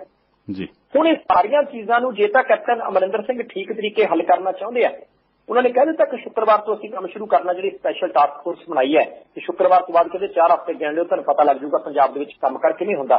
ਪਰ ਇਹ ਲਾਲ ਬੱਤੀ ਵਾਲਾ ਜਿਹੜਾ ਮਸਲਾ, ਉਹਨੂੰ ਫਾਈਲਾਂ ਦੇ ਵਿੱਚੋਂ ਬਾਹਰ ਕੱਢ ਕੇ ਜ਼ਮੀਨੀ ਪੱਧਰ ਦੇ ਉੱਤੇ ਲਾਗੂ ਕਰਨਾ ਬਹੁਤ ਜ਼ਰੂਰੀ ਹੈ, ਭਲ ਜਿਹੜੀ ਬਣੀ ਹੈ, ਬਰਕਤ ਤੇ ਰਹਿਣੀ ਹੈ। ਜੀ। ਗੱਲ ਇਹੀ ਹੈ ਜੀ, ਭਲ ਬਣੀ ਰਹੇ ਤਾਂ ਚੰਗੀ ਗੱਲ ਹੈ, ਕਿਉਂਕਿ ਇਹ ਦੋ ਤਿੰਨ ਜਿਹੜੇ ਬਿਆਨ ਜੇ ਇਹਨਾਂ ਦਿਨਾਂ ਦੇ ਵਿੱਚ ਬੜੇ ਆਪਾ ਵਿਰੋਧੀ ਜੇ ਆਏ, ਇੱਕ ਇਹ ਕਿ ਭਾਈ ਅਸੀਂ ਖਰਚੇ ਘਟਾਉਣੇ ਆ ਦੂਸਰੇ ਪਾਸੇ ਮੁੱਖ ਸੰਸਦੀ ਸਕੱਤਰਾਂ ਵਾਲੀ ਹੈ, ਜਿਹੜੀ ਗੱਲ ਬੇਸ਼ੱਕ ਅੱਜ ਔਲੀ ਟਲ ਗਈ ਹੈ, ਆਉਣ ਵਾਲੇ ਦਿਨਾਂ 'ਚ ਉਹ ਫੇਰ ਹੋਣ ਜਾ ਰਹੀ ਹੈ। ਸਲਾਹਕਾਰ ਹੈ ਜਿਹੜੇ ਦੋ ਹੋਰ ਉਹਨਾਂ ਦੇ ਵਿੱਚ ਵਾਧਾ ਹੋ ਗਿਆ, ਬਹੁਤ ਸਾਰੀਆਂ ਚੀਜ਼ਾਂ ਜਿਹੜੀਆਂ ਕਈਆਂ ਸੀ, ਉਦੋਂ ਵੱਧ ਹੋ ਰਿਹਾ। ਉਹ ਕਹੀ ਜਾਂਦੇ ਆ ਜੀ, ਦੂਜਿਆਂ ਨਾਲੋਂ ਘੱਟ ਹੈ। ਚਲੋ ਖੈਰ, ਦੇਖਦੇ ਹਾਂ ਜੀ, ਅੱਗੇ ਅੱਗੇ ਕੀ ਹੁੰਦਾ ਤੇ ਉਧਰ ਜਿਹੜੇ ਜਸੋਵਾਲ ਸਾਹਿਬ ਲਖੋਵਾਲ ਸਾਹਿਬ ਆ, ਉਹਨਾਂ ਦੀ ਥਾਂ ਦੇ ਉੱਤੇ ਹੁਣ ਲਾਲ ਸਿੰਘ ਹੋਰਾਂ ਨੂੰ ਮੰਡੀਆਂ ਸੁਹਾਤੀਆਂ। ਮੰਡੀ ਬੋਰਡ ਦੇ ਚੇਅਰਮੈਨ ਬਣਾਤੇ ਜੀ। ਸੁਖਨਾਥ ਜੀ ਕੈਪਟਨ ਅਮਰਿੰਦਰ ਸਿੰਘ ਹੋਰੀ ਜੇ ਇੱਕ ਟੱਬਰ ਇੱਕ ਟਿਕਟ ਦਾ ਫਾਰਮੂਲਾ ਪੰਜਾਬ ਵਿਧਾਨ ਸਭਾ ਚੋਣਾਂ ਤੋਂ ਪਹਿਲਾਂ ਲਾਗੂ ਨਾ ਕਰਦੇ ਤਾਂ ਲਾਲ ਸਿੰਘ ਹੋਰਾਂ ਦੀ ਜਗ੍ਹਾ ਕੋਈ ਹੋਰ ਬੰਦਾ ਮੰਡੀ ਬੋਰਡ ਦਾ ਚੇਅਰਮੈਨ ਹੋਣਾ ਸੀ। ਜੀ। ਉਹਨਾਂ ਨੂੰ ਤੇ ਇੱਥੇ ਫਿੱਟ ਕਰਨ ਦੀ ਕੋਸ਼ਿਸ਼ ਕੀਤੀ ਗਈ ਹੈ। ਹੁਣ ਕੈਪਟਨ ਅਮਰਿੰਦਰ ਸਿੰਘ ਨੇ ਜਿਹੜਾ ਫੈਸਲਾ ਪ੍ਰਸ਼ਾਂਤ ਕਿਸ਼ੋਰ ਦੇ ਕਹਿਣ ਤੇ ਲਾਗੂ ਕੀਤਾ ਸੀ ਉਹ ਫੈਸਲੇ ਦਾ ਲਾਭ ਹੀ ਹੋਇਆ ਉਹਨਾਂ ਜਿਹੜਾ ਕਾਂਗਰਸ ਪਾਰਟੀ ਦੀ ਸਰਕਾਰ ਬਣ ਗਈ ਆਪਾਂ ਇਦਾਂ ਤਾਂ ਕਹਿ ਨਹੀਂ ਸਕਦੇ ਕਿ ਮਾੜਾ ਫੈਸਲਾ ਸੀ ਫੈਸਲਾ ਤਾਂ ਚੰਗਾ ਸੀ ਪਰਿਵਾਰਵਾਦ ਨੂੰ ਥੋੜੀ ਬਹੁਤ ਠੱਲ ਪਈ। ਜੀ। ਕਈ ਕਾਂਗਰਸੀ ਕਹਿੰਦੇ ਕਹਾਉਂਦੇ ਕਾਂਗਰਸੀ ਉਹਦੀ ਲਪੇਟ ਚ ਆ ਗਏ। ਸਭ ਵੱਧ ਲਪੇਟ ਦੇ ਵਿੱਚ ਆਏ ਸੀ ਸਾਬਕਾ ਖਜ਼ਾਨਾ ਮੰਤਰੀ ਲਾਲ ਸਿੰਘ ਜਿਹੜੇ ਕਿ ਕਾਂਗਰਸ ਪਾਰਟੀ ਦੇ ਸਭ ਤੋਂ ਸੀਨੀਅਰ ਲੀਡਰ ਨੇ ਮੌਜੂਦਾ। ਜੀ। ਉਹਨਾਂ ਦੇ ਸਾਹਮਣੇ ਇੱਕ ਵਿਚਿੱਤੀ ਸੀ ਬਹੁਤ ਵੱਡੀ ਕਿ ਮੈਂ ਆਪ ਸਨੌਰ ਹਲਕੇ ਤੋਂ ਚੋਣ ਲੜਾਂ ਜਿਹਨੂੰ ਪਹਿਲਾਂ ਡਕਾਲਾ ਆਖਿਆ ਜਾਂਦਾ। ਜੀ। ਜਾਂ ਮੈਂ ਆਪਣੇ ਪੁੱਤਰ ਜਿੰਦਰ ਸਿੰਘ ਨੂੰ ਸਮਾਣੇ ਤੋਂ ਚੋਣ ਲੜਾਵਾਂ ਕਿਉਂਕਿ ਉਹਨਾਂ ਨੂੰ ਪਤਾ ਨਹੀਂ ਸੀ ਕਿ ਅੱਜ ਇਦਾਂ ਦਾ ਜਿਹੜਾ ਘਾਤਕ ਜਿਹਾ ਸਾਬਿਤ ਹੋਣ ਵਾਲਾ ਫਾਰਮੂਲਾ ਵੀ ਲਾਗੂ ਹੋ ਸਕਦਾ। ਜੀ। 2012 ਤੋਂ ਬਾਅਦ ਲਗਾਤਾਰ ਆਪ ਸਨੌਰ ਦੇ ਵਿੱਚ ਵਿਚਰੇ। ਆਪਣੇ ਪੁੱਤਰ ਜਿੰਦਰ ਸਿੰਘ ਨੂੰ ਸਮਾਣੇ ਦੇ ਵਿੱਚ ਉਹਨਾਂ ਨੇ ਸਰਗਰਮ ਕੀਤਾ ਤੇ ਦੋਨਾਂ ਨੇ ਸਰਗਰਮੀ ਠੋਕ ਕੇ ਕੀਤੀ। ਜੀ। ਦੋਵਾਂ ਨੂੰ ਟਿਕਟਾਂ ਮਿਲਦੀਆਂ ਤਾਂ ਸ਼ਾਇਦ ਦੋਵੇਂ ਟਿਕਟਾਂ ਜਿੱਤ ਵੀ ਸਕਦੇ ਸੀ ਸੀਟਾਂ। ਜੀ। ਫਿਰ ਆਖਿਰਕਾਰ ਉਹਨਾਂ ਨੇ ਸ਼ਕਤੀ ਪ੍ਰਦਰਸ਼ਨ ਕੀਤਾ ਥੋੜਾ ਜਿਹਾ ਜ਼ੋਰ ਅਜਮਾਇਸ਼ ਵੀ ਕੀਤੀ ਦਬਾਅ ਪਾਉਣ ਦੀ ਕੋਸ਼ਿਸ਼ ਵੀ ਕੀਤੀ ਪਟਿਆਲੇ 'ਚ ਇੱਕ ਰੈਲੀ ਕੀਤੀ ਸੀ ਤੇ ਰੈਲੀ ਦੇ ਵਿੱਚ ਉਹਨਾਂ ਨੇ ਜਨਤਕ ਤੌਰ ਦੇ ਉੱਤੇ ਆਪ ਦਿੱਤਾ ਸੀ ਕਿ ਮੈਂ ਕਾਂਗਰਸ ਪਾਰਟੀ ਦਾ ਬਹੁਤ ਪੁਰਾਣਾ ਬੰਦਾ ਮੈਂ ਕਦੇ ਬਗਾਵਤ ਨਹੀਂ ਕੀਤੀ ਮੈਂ ਹਮੇਸ਼ਾ ਪਾਰਟੀ ਦੀ ਰਜ਼ਾ 'ਚ ਰਿਹਾ। ਪਾਰਟੀ ਨੂੰ ਇੱਕ ਟੱਬਰ ਇੱਕ ਟਿਕਟ ਫਾਰਮੂਲੇ ਤੋਂ ਇਲਾਵਾ ਮੈਨੂੰ ਵਿਸ਼ੇਸ਼ ਕੇਸ ਵਜੋਂ ਵਿਚਾਰਨਾ ਚਾਹੀਦਾ ਸਾਨੂੰ ਪਿਓ ਪੁੱਤ ਦੋਵਾਂ ਨੂੰ ਟਿਕਟਾਂ ਦਿਓ। ਜੀ। ਪਰ ਹਾਈ ਕਮਾਂਡ ਨੇ ਦਖਲ ਦਿੱਤਾ ਸਮਝਾ ਲਿਆ। ਲਾਲ ਸਿੰਘ ਹੋਰਾਂ ਨੂੰ ਕਿ ਕੋਈ ਗੱਲ ਨਹੀਂ ਐਡੀ ਕੋਈ ਵੱਡੀ ਗੱਲ ਨਹੀਂ ਤੁਸੀਂ ਠੀਕ ਤਰੀਕੇ ਦੇ ਨਾਲ ਜਿਹੜਾ ਉਹ ਕੰਮ ਕਰੋ ਅਸੀਂ ਤੁਹਾਨੂੰ ਐਡਜਸਟ ਕਰਾਂਗੇ।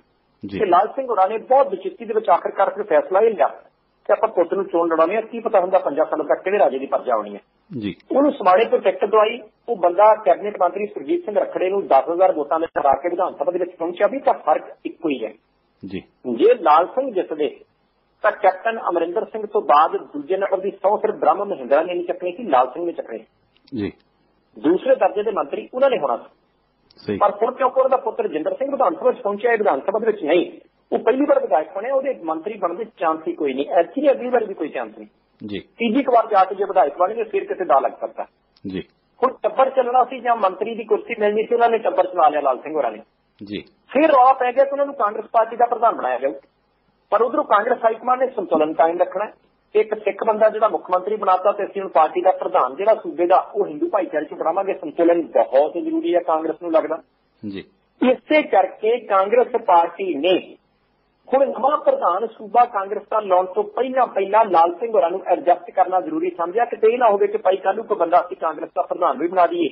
ਲਾਲ ਸਿੰਘ ਹੋਰੀ ਮੂੰਹ ਵੱਟ ਕੇ ਘਰੇ ਬੈਠ ਜੀ। ਹੁਣ ਮੰਡੀ ਬੋਰਡ ਦਾ ਚੇਅਰਮੈਨ ਉਹਨਾਂ ਨੂੰ ਬਣਾ ਦਿੱਤਾ ਗਿਆ। ਅਜਮੇਰ ਸਿੰਘ ਲੱਖੋਵਾਲ ਹੋਰਾਂ ਦੀ ਕੁਰਸੀ ਖਾਲੀ ਹੋਈ 10 ਸਾਲ ਭਾਰ ਪਾ ਕੇ ਰੱਖਿਆ ਉਹਨਾਂ ਨੇ ਕੁਰਸੀ ਤੇ ਭਾਰ ਹੀ ਪਾਇਆ। ਕੰਮ ਤਾਂ ਕੋਈ ਇਦਾਂ ਦਾ ਕੀਤਾ ਨਹੀਂ ਲੱਗਦਾ ਜਿਹਦੇ ਨਾਲ ਕਿਸਾਨਾਂ ਦੀ ਕੋਈ ਸਹਾਇਤਾ ਹੋਈ ਹੋਵੇ।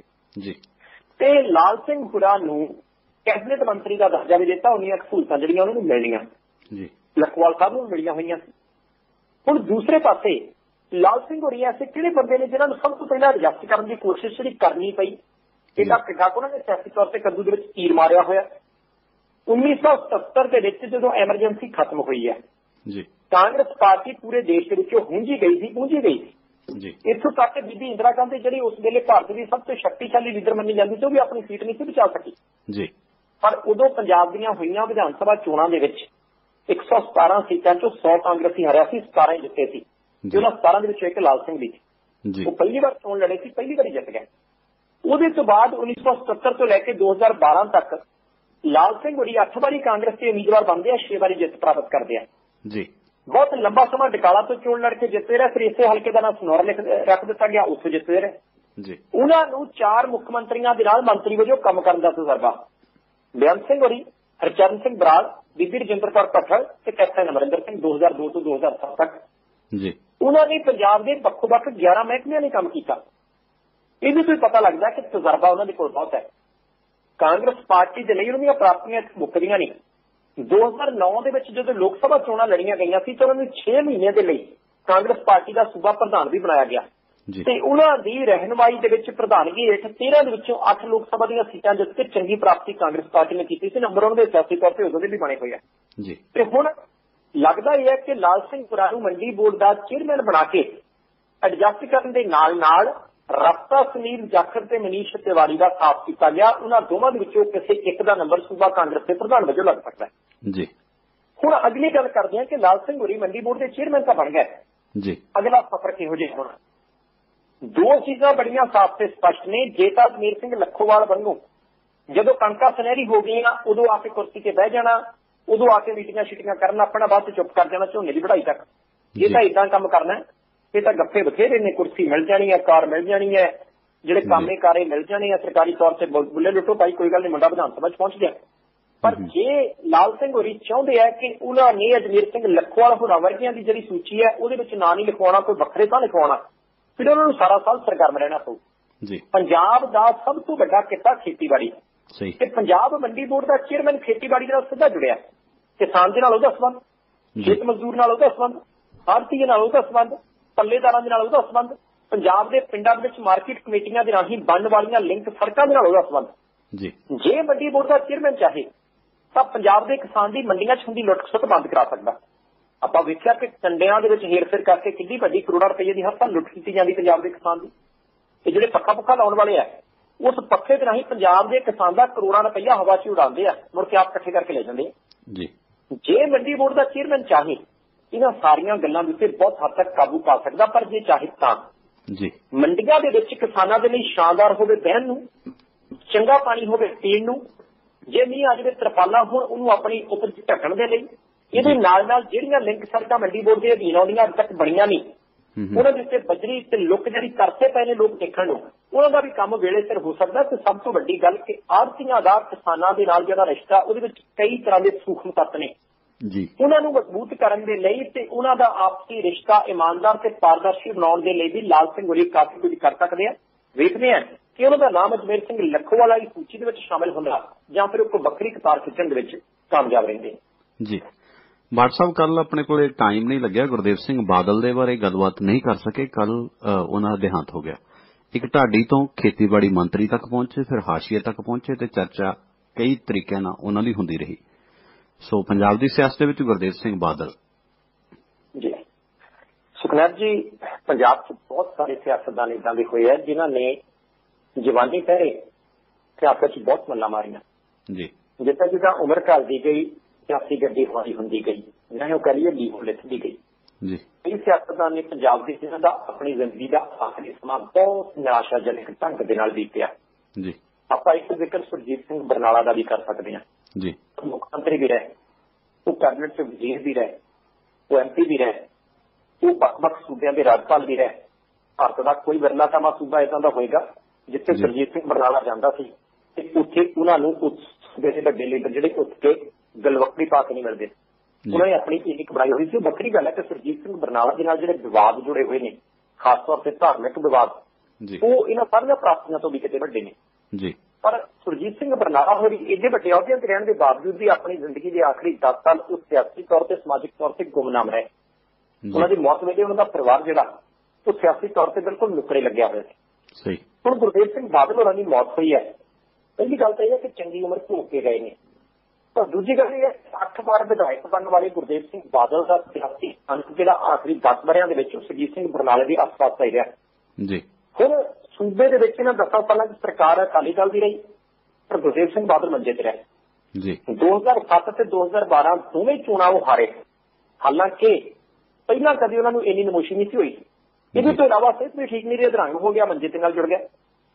ਹੈਰਾਨੀ ਦੀ ਗੱਲ ਇਹ ਹੈ ਕਿ ਹੁਣ ਜਦੋਂ ਉਹਨਾਂ ਦਾ ਦੇਹਾਂਤ ਹੋਇਆ ਤੇ ਇਸ ਦੇਹਾਂਤ ਤੋਂ ਥੋੜੇ ਦਿਨ ਪਹਿਲਾਂ ਹੀ ਪੰਜਾਬ ਵਿਧਾਨ ਸਭਾ ਚੋਣਾਂ ਦਾ ਨਤੀਜਾ ਆਇਆ ਤੇ ਉਹਨਾਂ ਦਾ ਪੁੱਤਰ ਸੂਬਾ ਸਿੰਘ ਬਾਦਲ ਜਿਹਨੂੰ ਟਿਕਟ ਬੜੀ ਔਖੀ ਹੋ ਕੇ ਅਕਾਲੀ ਦਲ ਦੇ ਵਿੱਚੋਂ ਮਿਲੀ ਕਦੇ ਸੋਚਿਆ ਵੀ ਨਹੀਂ ਹੋਣਾ ਗੁਰਦੇਵ ਸਿੰਘ ਬਾਦਲ ਨੇ ਕਿ ਮੇਰੇ ਪਰਿਵਾਰ ਨੂੰ ਇਸੇ ਪਾਰਟੀ ਦੇ ਵਿੱਚੋਂ ਟਿਕਟ ਲੈਣ ਲਈ ਜਦੋਜਹਿਦ ਕਰਨੀ ਪਊ। ਜੀ। ਉਸ ਪਰਿਵਾਰ ਨੂੰ ਟਿਕਟ ਬੜੀ ਔਖੀ ਮਿਲੀ ਤੇ ਉਹਨਾਂ ਨੂੰ ਵੋਟਾਂ ਮਿਲੀਆਂ 33000 ਤੇ ਨੰਬਰ ਆਇਆ ਤੀਸਰਾ। ਜੀ। ਤੇ ਜਦੋਂ ਕਿਸੇ ਲੀਡਰ ਦਾ ਨੰਬਰ ਤੀਸਰਾ ਆਉਂਦਾ ਤਾਂ ਅਗਲੀ ਵਾਰੀ ਪਾਰਟੀ ਦੀ ਟਿਕਟ ਲੈਣ ਦੇ ਵਿੱਚ ਕਿੰਨੀ ਔਖ ਹੁੰਦੀ ਸਾਨੂੰ ਸਾਰਿਆਂ ਨੂੰ ਪਤਾ। ਹੁਣ ਗੁਰਦੇਵ ਸਿੰਘ ਬਾਦਲ ਹੋਰੀ 1963 ਤੋਂ ਲੈ ਕੇ 79 ਤੱਕ ਐਸਜੀਪੀਸੀ ਦੇ ਮੈਂਬਰ ਹੈ ਜੀ। ਧਰਮ ਪ੍ਰਚਾਰ ਕਮੇਟੀ ਦੇ ਵਿੱਚ ਵੀ ਸਰਗਰਮ ਹੈ 1967 ਦੇ ਵਿੱਚ ਪਹਿਲੀ ਵਾਰ ਸ਼੍ਰੀ ਮੁਕਤਸਰ ਸਾਹਿਬ ਤੋਂ ਵਿਧਾਇਕ ਬਣੇ 69 ਚ ਫਿਰ ਇੱਥੇ ਜਿੱਤੇ। 1972 ਦੇ ਵਿੱਚ ਫਿਰੋਜ਼ ਫਰੀਦਕੋਟ ਤੋਂ ਟਿਕਟ ਦਿੱਤੀ ਉੱਥੋਂ ਫਿਰ ਜਿੱਤ ਗਏ। ਫਿਰ। ਲਗਾਤਾਰ ਤਿੰਨ ਵਾਰ ਪੰਜ ਕਰਾਈ ਕਲਾਂ ਹਲਕਾ ਸੀ ਉੱਥੋਂ ਜਿੱਤੇ 1970 80 ਤੇ 85 ਚ। ਜੀ। ਮੰਗਣੇ ਵਾਲੀ ਚੋਣ ਦਾ ਸ਼੍ਰੋਮਣੀ ਅਕਾਲੀ ਦਲ ਨੇ ਬਾਈਕਾਟ ਕੀਤਾ ਤੇ ਜਿਹੜੇ ਗੁਰਦੇਵ ਸਿੰਘ ਬਾਦਲ ਨੇ ਉਹ ਉਮੀਦਵਾਰ ਨਹੀਂ ਬਣੇ। ਉਹਦੇ। ਤੋਂ ਬਾਅਦ 97 ਤੇ 2002 ਦੇ ਵਿੱਚ ਫਿਰ ਜਿੱਤੇ ਤੇ 1997 ਤੋਂ ਲੈ ਕੇ 2002 ਤੱਕ ਮੁੱਖ ਮੰਤਰੀ ਸੀ ਪ੍ਰਕਾਸ਼ ਸਿੰਘ ਬਾਦਲ ਤੇ ਖੇਤੀਬਾੜੀ ਮੰਤਰੀ ਵਜੋਂ ਮੋਢੇ ਨਾਲ ਮੋਢਾ ਜੋੜ ਕੇ ਜੂਝ ਰਿਹਾ ਗੁਰਦੇਵ ਸਿੰਘ ਬਾਦਲ। ਸਹੀ ਬਾਦਲ ਪਰਿਵਾਰ ਦੇ ਨਾਲ ਨੇੜਤਾ ਬੜੀ ਸੀ। ਪੰਜਾਬੀ ਸੂਬਾ ਮੋਰਚਾ ਲੱਗਾ ਜੇਲ੍ਹ ਕੱਟੀ ਧਰਮਯੁੱਧ ਮੋਰਚਾ ਲੱਗਾ ਫਿਰ ਜੇਲ੍ਹ ਗਏ ਐਮਰਜੈਂਸੀ ਲੱਗੀ ਫਿਰ ਜੇਲ੍ਹ ਗਏ ਮਹਾਰਾਸ਼ਟਰ ਦੀ ਜੇਲ੍ਹ ਦੇ ਵਿੱਚ ਵੀ ਰਹੇ। ਜੀ। ਪਰ ਆਖਰੀ ਸਮਾਂ ਜਿਵੇਂ ਆਪਾਂ ਪਹਿਲਾਂ ਜ਼ਿਕਰ ਕੀਤਾ ਗੁਰਦੇਵ ਸਿੰਘ ਬਾਦਲ ਹੋਰਾਂ ਦਾ ਕੋਈ ਬਹੁਤਾ ਚੰਗਾ ਨਹੀਂ ਬੀਤਿਆ। ਜੀ। ਅਧਰੰਗ ਦੀ ਬਿਮਾਰੀ ਵੀ ਸੀ ਸਿਆਸੀ ਤੌਰ ਤੇ ਲਹਾ ਵੀ ਸੀ ਪਰ ਹੁਣ ਮਹੱਤਵਪੂਰਨ ਗੱਲ ਜਿਹੜੀ ਹੈ ਜੀ। ਸਭ ਤੋਂ ਵੱਡੀ ਗੱਲ ਕਿ ਉਹਨਾਂ ਦੇ ਨਾਲ ਕੋਈ ਬਹੁਤਾ ਵੱਡਾ ਵਿਵਾਦ ਨਹੀਂ ਜੁੜਿਆ। ਜੀ। ਉਹਨਾਂ ਦੀ ਕਿਤੇ ਕਾਰ ਨਹੀਂ ਬਹੁਤੀ ਜ਼ਿਆਦਾ ਘੇਰੀ ਗਈ ਉਹਨਾਂ ਦੇ ਕਿਤੇ ਪੁਤਲੇ ਨਹੀਂ ਸਾੜੇ ਗਏ। ਹਾਲਾਂਕਿ ਇਹ ਗੱਲ ਵੱਖਰੀ ਹੈ ਕਿ ਆਪਣੀ ਪਾਰਟੀ ਦੇ ਵਿੱਚ ਰਹਿੰਦੇ ਉਹ ਪਾਰਟੀ ਦੇ ਪ੍ਰਤੀ ਇੰਨੇ ਸਮਰਪਿਤ ਸੀ ਕਿ ਪਾਰਟੀ ਨੂੰ ਜੇ ਕੋਈ ਫੈਸਲਾ ਜੇ ਕੋਈ ਨੀਤੀ ਗਲਤ ਕੀਤੀ ਤਾਂ ਆਵਾਜ਼ ਉਹ ਵੀ ਨਹੀਂ ਚੁੱਕ ਸਕੇ। ਜੀ। ਪਰ ਫਿਰ ਵੀ ਜਿਹੜਾ ਬੰਦਾ ਪਾਰਟੀ ਦੇ ਪ੍ਰਤੀ ਸਮਰਪਿਤ ਰਿਹਾ ਹੋਵੇ ਉਸ ਬੰਦੇ ਦੇ ਅੰਤਿਮ ਸੰਸਕਾਰ ਦੇ ਉੱਤੇ ਅਕਾਲੀ ਦਲ ਦੀ ਜ਼ਿਲ੍ਹਾ ਲੀਡਰਸ਼ਿਪ ਤੋਂ ਇਲਾਵਾ ਸੂਬਾ ਪੱਧਰੀ ਕੋਈ ਲੀਡਰਸ਼ਿਪ ਹੀ ਨਾ ਪਹੁੰਚੇ। ਜੀ। ਉਹ ਵੀ ਉਸ ਵੇਲੇ ਜਦੋਂ ਨਾ ਤਾਂ ਅਕਾਲੀ ਦਲ ਦੀ ਸਰਕਾਰ ਹੈ ਸਾਰੇ ਲੀਡਰ ਵਿਹਲੇ ਤੁਰੇ ਫਿਰਦੇ ਆ ਨਾ ਕੋਈ ਵਿਦੇਸ਼ ਗਿਆ ਹੋਇਆ। ਸਹੀ। ਹੁਣ ਚੜ੍ਹਦੇ ਸੂਰਜ ਨੂੰ ਸਲਾਮ ਵਾਲੀ ਗੱਲ ਇੱਥੇ ਪੂਰੀ ਤਰ੍ਹਾਂ ਝੁਕਦੀ ਹੈ ਕਿ ਜਿੰਨੀ ਦੇਰ ਤੱਕ ਗੁਰਦੇਵ ਸਿੰਘ ਬਾਦਲ ਜਿੱਤਦਾ ਸੀ ਘਰ ਦੇ ਮੂਹਰੇ 10-12 ਗੱਡੀਆਂ ਵੀ ਖੜੀਆਂ ਰਹਿੰਦੀਆਂ ਸੀ। ਕੰਮ ਕਰ ਕਰਾਉਣ ਵਾਲੇ ਦਾ ਸੰਤਾਂ ਲੱਗਾ ਰਹਿੰਦਾ ਸੀ। ਤੇ ਹੁਣ ਜਦੋਂ ਸੂਰਜ ਡੁੱਬਣ ਲੱਗ ਪਿਆ ਤਾਂ ਅਕਾਲੀ ਦਲ ਦਾ ਕੋਈ ਵੱਡਾ ਲੀਡਰ ਘਰ ਉੱਠ ਕੇ ਉਹਦੇ ਅੰਤਿਮ ਸੰਸਕਾਰ ਤੇ ਆਉਣ ਲਈ ਵੀ ਤਿਆਰ ਨਾ ਹੋਇਆ। ਆਪੋ। ਆਪਣੇ ਘਰੇ ਬੈਠੇ ਪੱਤਰਕਾਰਾਂ ਨੂੰ ਟੈਲੀਫੋਨ ਕਰੀ ਜਾਂਦੇ ਜੀ ਬੜਾ ਦੁੱਖ ਹੋਇਆ ਬੜੇ ਵਧੀਆ ਲੀਡਰ ਸੀ ਬੜਾ ਸਾਥ ਦਿੱਤਾ। ਉਹ ਭਾਈ ਜੀ। ਸਾਥ ਦਿੱਤਾ ਤੁਸੀਂ ਵੀ ਦਿਓ। ਜਿਹੜਾ ਆਖਰੀ 에ਅਰਪੋਰਟ ਹੈ ਜਿੱਥੋਂ ਦੁਨੀਆ ਛੱਡ ਕੇ ਜਾਣਾ ਹੁੰਦਾ ਜਿਹੜੇ ਜਹਾਜ਼ ਤੇ ਜਾਂਦੇ ਉਹ ਕਦੇ ਮੁੜਦਾ ਨਹੀਂ। ਉਦੋਂ ਜਹਾਜ਼ ਜਾਣ ਲੱਗੇ ਤਾਂ ਮਾੜਾ ਮੋਟਾ ਸਾਥ ਬੰਦਿਆਂ ਦੇ ਦੇਣਾ ਚਾਹੀਦਾ। ਜੀ। ਇਹਦੇ ਨਾਲ ਨਾਲ ਇੱਕ ਹੋਰ ਪੱਖ ਜਿਹੜਾ ਸੁਖਰੇਰ ਜੀ ਉਹ ਇਹ ਹੈ ਕਿ ਬੰਦਾ 8 ਵਾਰੀ ਐਮਐਲਏ ਬਣਿਆ। ਜੀ। ਉਹਦੇ ਤੋਂ ਬਾਅਦ ਲਗਾਤਾਰ ਤਿੰਨ ਚੋਣਾਂ ਵਿੱਚੋਂ ਦੋ ਆਪ ਤੇ ਇੱਕ ਟੱਬਰ ਨੇ ਹਾਰੀਆਂ ਕਿਉਂ ਜੀ। ਇਹ ਗੱਲ ਪੰਜਾਬ ਦੇ ਬਾਕੀ ਲੀਡਰਾਂ ਦੇ ਲਈ ਸਬਕ ਹੈ। ਜੀ। ਕਿ ਕਿੱਥੇ ਜਾ ਕੇ ਉਹ ਲੋਕਾਂ ਦੀ ਨਬਜ਼ ਫੜਨ ਤੋਂ ਕੇ ਰਹਿ ਗਏ। ਕਿਹੜੇ ਮੁੱਦੇ ਦੇ ਉੱਤੇ ਉਹ ਲੋਕਾਂ ਦੇ ਹੱਕ ਦੇ ਵਿੱਚ ਆਵਾਜ਼ ਬੁਲੰਦ ਨਹੀਂ ਕਰ ਸਕੇ? ਉਹ ਕਿਹੜੇ ਕਾਰਨ ਸੀ ਜਿਹਦੇ ਕਰਕੇ ਲੋਕ ਹੌਲੀ-ਹੌਲੀ ਉਹਨਾਂ ਤੋਂ ਦੂਰ ਹੁੰਦੇ ਗਏ? ਜੀ। ਇਹਨਾਂ ਸਾਰੀਆਂ ਗੱਲਾਂ ਬਾਤਾਂ ਦੇ ਵੱਲ ਪੰਜਾਬ ਦੇ ਜਿਹੜੇ ਮੌਜੂਦਾ ਸਰਗਰਮ ਲੀਡਰ ਨੇ ਉਹਨਾਂ ਨੂੰ ਧਿਆਨ ਦੇਣਾ ਚਾਹੀਦਾ ਤਾਂ ਜੋ ਇਦਾਂ ਦੀ ਸੂਚੀ ਦੇ ਵਿੱਚ ਆਪਣਾ ਨਾਮ ਲਿਖਵਾਉਣ ਤੋਂ ਉਹ ਪੂਰਾ ਗੁਰੇਜ਼ ਕਰ ਸਕਣ। ਜੀ। ਸੋ ਬਿਲਕੁਲ ਗੱਲ ਤੁਹਾਡੀ ਦਰੁਸਤ ਹੈ ਜੀ। ਔਰ ਇਹ ਵੀ ਗੱਲ ਹੈ ਕਿ ਜਿਹੜੇ ਆਗੂ ਨੁਕਰੇ ਲਾਏ ਸੀ ਕਿਤੇ ਕਿਤੇ ਉਹਨਾਂ ਦੀ ਯਾਦ ਬਾਦਲ ਸਾਹਿਬ ਨੂੰ ਆਉਂਦੀ ਰਹੀ ਕਦੇ ਨਹੀਂ ਵੀ ਆਉਂਦੀ ਰਹੀ। ਪਹਿਲਾਂ ਮੈਂ ਢਿੱਲੋਂ ਸਾਹਿਬ ਨਾਲ ਵੀ ਇਹੀ ਗੱਲਾਂ ਕਰਕੇ ਹਟਿਆ। ਤੇ ਹੁਣ ਜਥੇਦਾਰ ਗੁਰਚਰਨ ਸਿੰਘ ਟੋਣਾ ਸਾਹਿਬ ਦੀ ਬਰਸੀ ਹੈ। ਤੇ ਪਹਿਲਾਂ ਤਾਂ ਅਕਾਲੀ ਦਲ ਮਨਾਉਂਦਾ ਰਿਹਾ ਜੀ ਐਤਕੀ ਪੰਜਾਬ ਸਰਕਾਰ ਮਨਾ ਰਹੀ ਹੈ। ਸੁਖਨਾਥ ਜੀ ਗੁਰਚਰਨ ਸਿੰਘ ਟੌੜਾ ਹੋਰੀ ਧਾਰਮਿਕ ਤੇ ਸਿਆਸੀ ਤੌਰ ਦੇ ਉੱਤੇ ਬਹੁਤ ਲੰਬਾ ਸਮਾਂ ਪੰਜਾਬ ਦੇ ਉੱਤੇ ਛਾਇਆ ਹੈ। ਜੀ। ਸਮਰਥਕ ਉਹਨਾਂ ਦੇ ਪੂਰੇ ਪੰਜਾਬ 'ਚ ਹੈਗੇ ਪਟਿਆਲਾ 'ਚ ਉਹਨਾਂ ਦਾ ਆਪਣਾ ਜ਼ਿਲ੍ਹਾ ਸੀ ਇੱਥੇ ਸਥਿਤੀ ਕਾਫੀ ਮਜ਼ਬੂਤ ਸੀ। ਜੀ। ਸਭ ਤੋਂ ਲੰਬਾ ਸਮਾਂ ਐਸਜੀਪੀਸੀ ਦੇ ਪ੍ਰਧਾਨ ਰਹਿਣ ਦਾ ਮਾਣ ਵੀ ਉਹਨਾਂ ਨੂੰ ਹਾਸਲ ਹੈ। ਤੇ ਇਹ ਵੀ ਗੱਲ ਪੱਕੀ ਹੈ ਕਿ ਕੁਝ ਇੱਕ ਵਿਵਾਦ ਉਹਨਾਂ ਦੇ ਨਾਲ ਵੀ ਜੁੜੇ ਹੋਏ ਸੀ। ਪਰ ਫਿਰ ਵੀ ਜਿਵੇਂ ਉਹਨਾਂ ਤੋਂ ਬਾਅਦ ਵਾਲੇ ਕਈ ਪ੍ਰਧਾਨਾਂ ਦਾ ਹਸ਼ਰ ਹੋਇਆ ਪੰਜਾਬ ਦੇ ਵਿੱਚ ਪੁਤਲੇ ਸਾੜੇ ਗਏ ਦੋਸ਼ ਲੱਗੇ। ਨਿੱਕੇ ਨਿੱਕੇ ਦੋਸ਼ ਵੀ ਲੱਗੇ ਜੀ ਫਲਾਨੀ ਐਸਪੀਸੀ ਦੇ ਅਧੀਨ ਗੁਰੂ ਘਰ ਆਉਂਦਾ ਉਹਦੀ ਜ਼ਮੀਨ ਦੇ ਵਿੱਚ ਇੰਨਾ ਘੁਟਾਲਾ ਹੋ ਗਿਆ ਆਹ ਕਰਤਾ ਉਹ ਕਰਤਾ ਬਾਲਣ ਘੁਟਾਲਾ ਪਤਾ ਨਹੀਂ ਕਿਹੜਾ ਕਿਹੜਾ ਘੁਟਾਲਾ। ਇਦਾਂ ਦੇ। ਮਾਮਲਿਆਂ ਤੋਂ ਗੁਰਚਰਨ ਸਿੰਘ ਥੋੜਾ ਬਚੇ ਰਹੇ। ਜੀ। ਹੁਣ ਪੰਜਾਬ ਦੇ ਮੌਜੂਦਾ ਮੁੱਖ ਮੰਤਰੀ ਕੈਪਟਨ ਅਮਰਿੰਦਰ ਸਿੰਘ ਹੋਰਾਂ ਨੇ ਅਹਿਮ ਫੈਸਲਾ ਕੀਤਾ। ਕਹਿੰਦੇ ਅਸੀਂ ਪਹਿਲੀ ਅਪ੍ਰੈਲ ਨੂੰ ਟੌੜਾ ਸਾਹਿਬ ਦੀ ਬਰਸੀ ਉਹਨਾਂ ਦੇ ਜੱਦੀ ਪਿੰਡ ਟੌੜਾ ਦੇ ਵਿੱਚ ਮਨਾਵਾਂਗੇ। ਸਰਕਾਰੀ ਬਰਸੀ ਹੋਏਗੀ ਸੂਬਾ ਪੱਧਰ ਦੇ ਉੱਤੇ। ਜੀ। ਕੈਬਨਿਟ ਮੰਤਰੀ ਸਾਹਿਬ ਉਸ ਨੇ ਧਰਮ ਸੋਧ ਦੀ ਡਿਊਟੀ ਲਈ ਕਿ ਤੁਸੀਂ ਉਚੇਚੇ ਜਾਣਾ ਹੈ। ਪੰਜਾਬ ਸਰਕਾਰ ਦੀ ਨੁਮਾਇੰਦਗੀ ਕਰਨੀ। ਇੱਥੇ ਤੱਕ ਗੱਲ ਹੁੰਦੀ ਹੋਰ ਸੀ।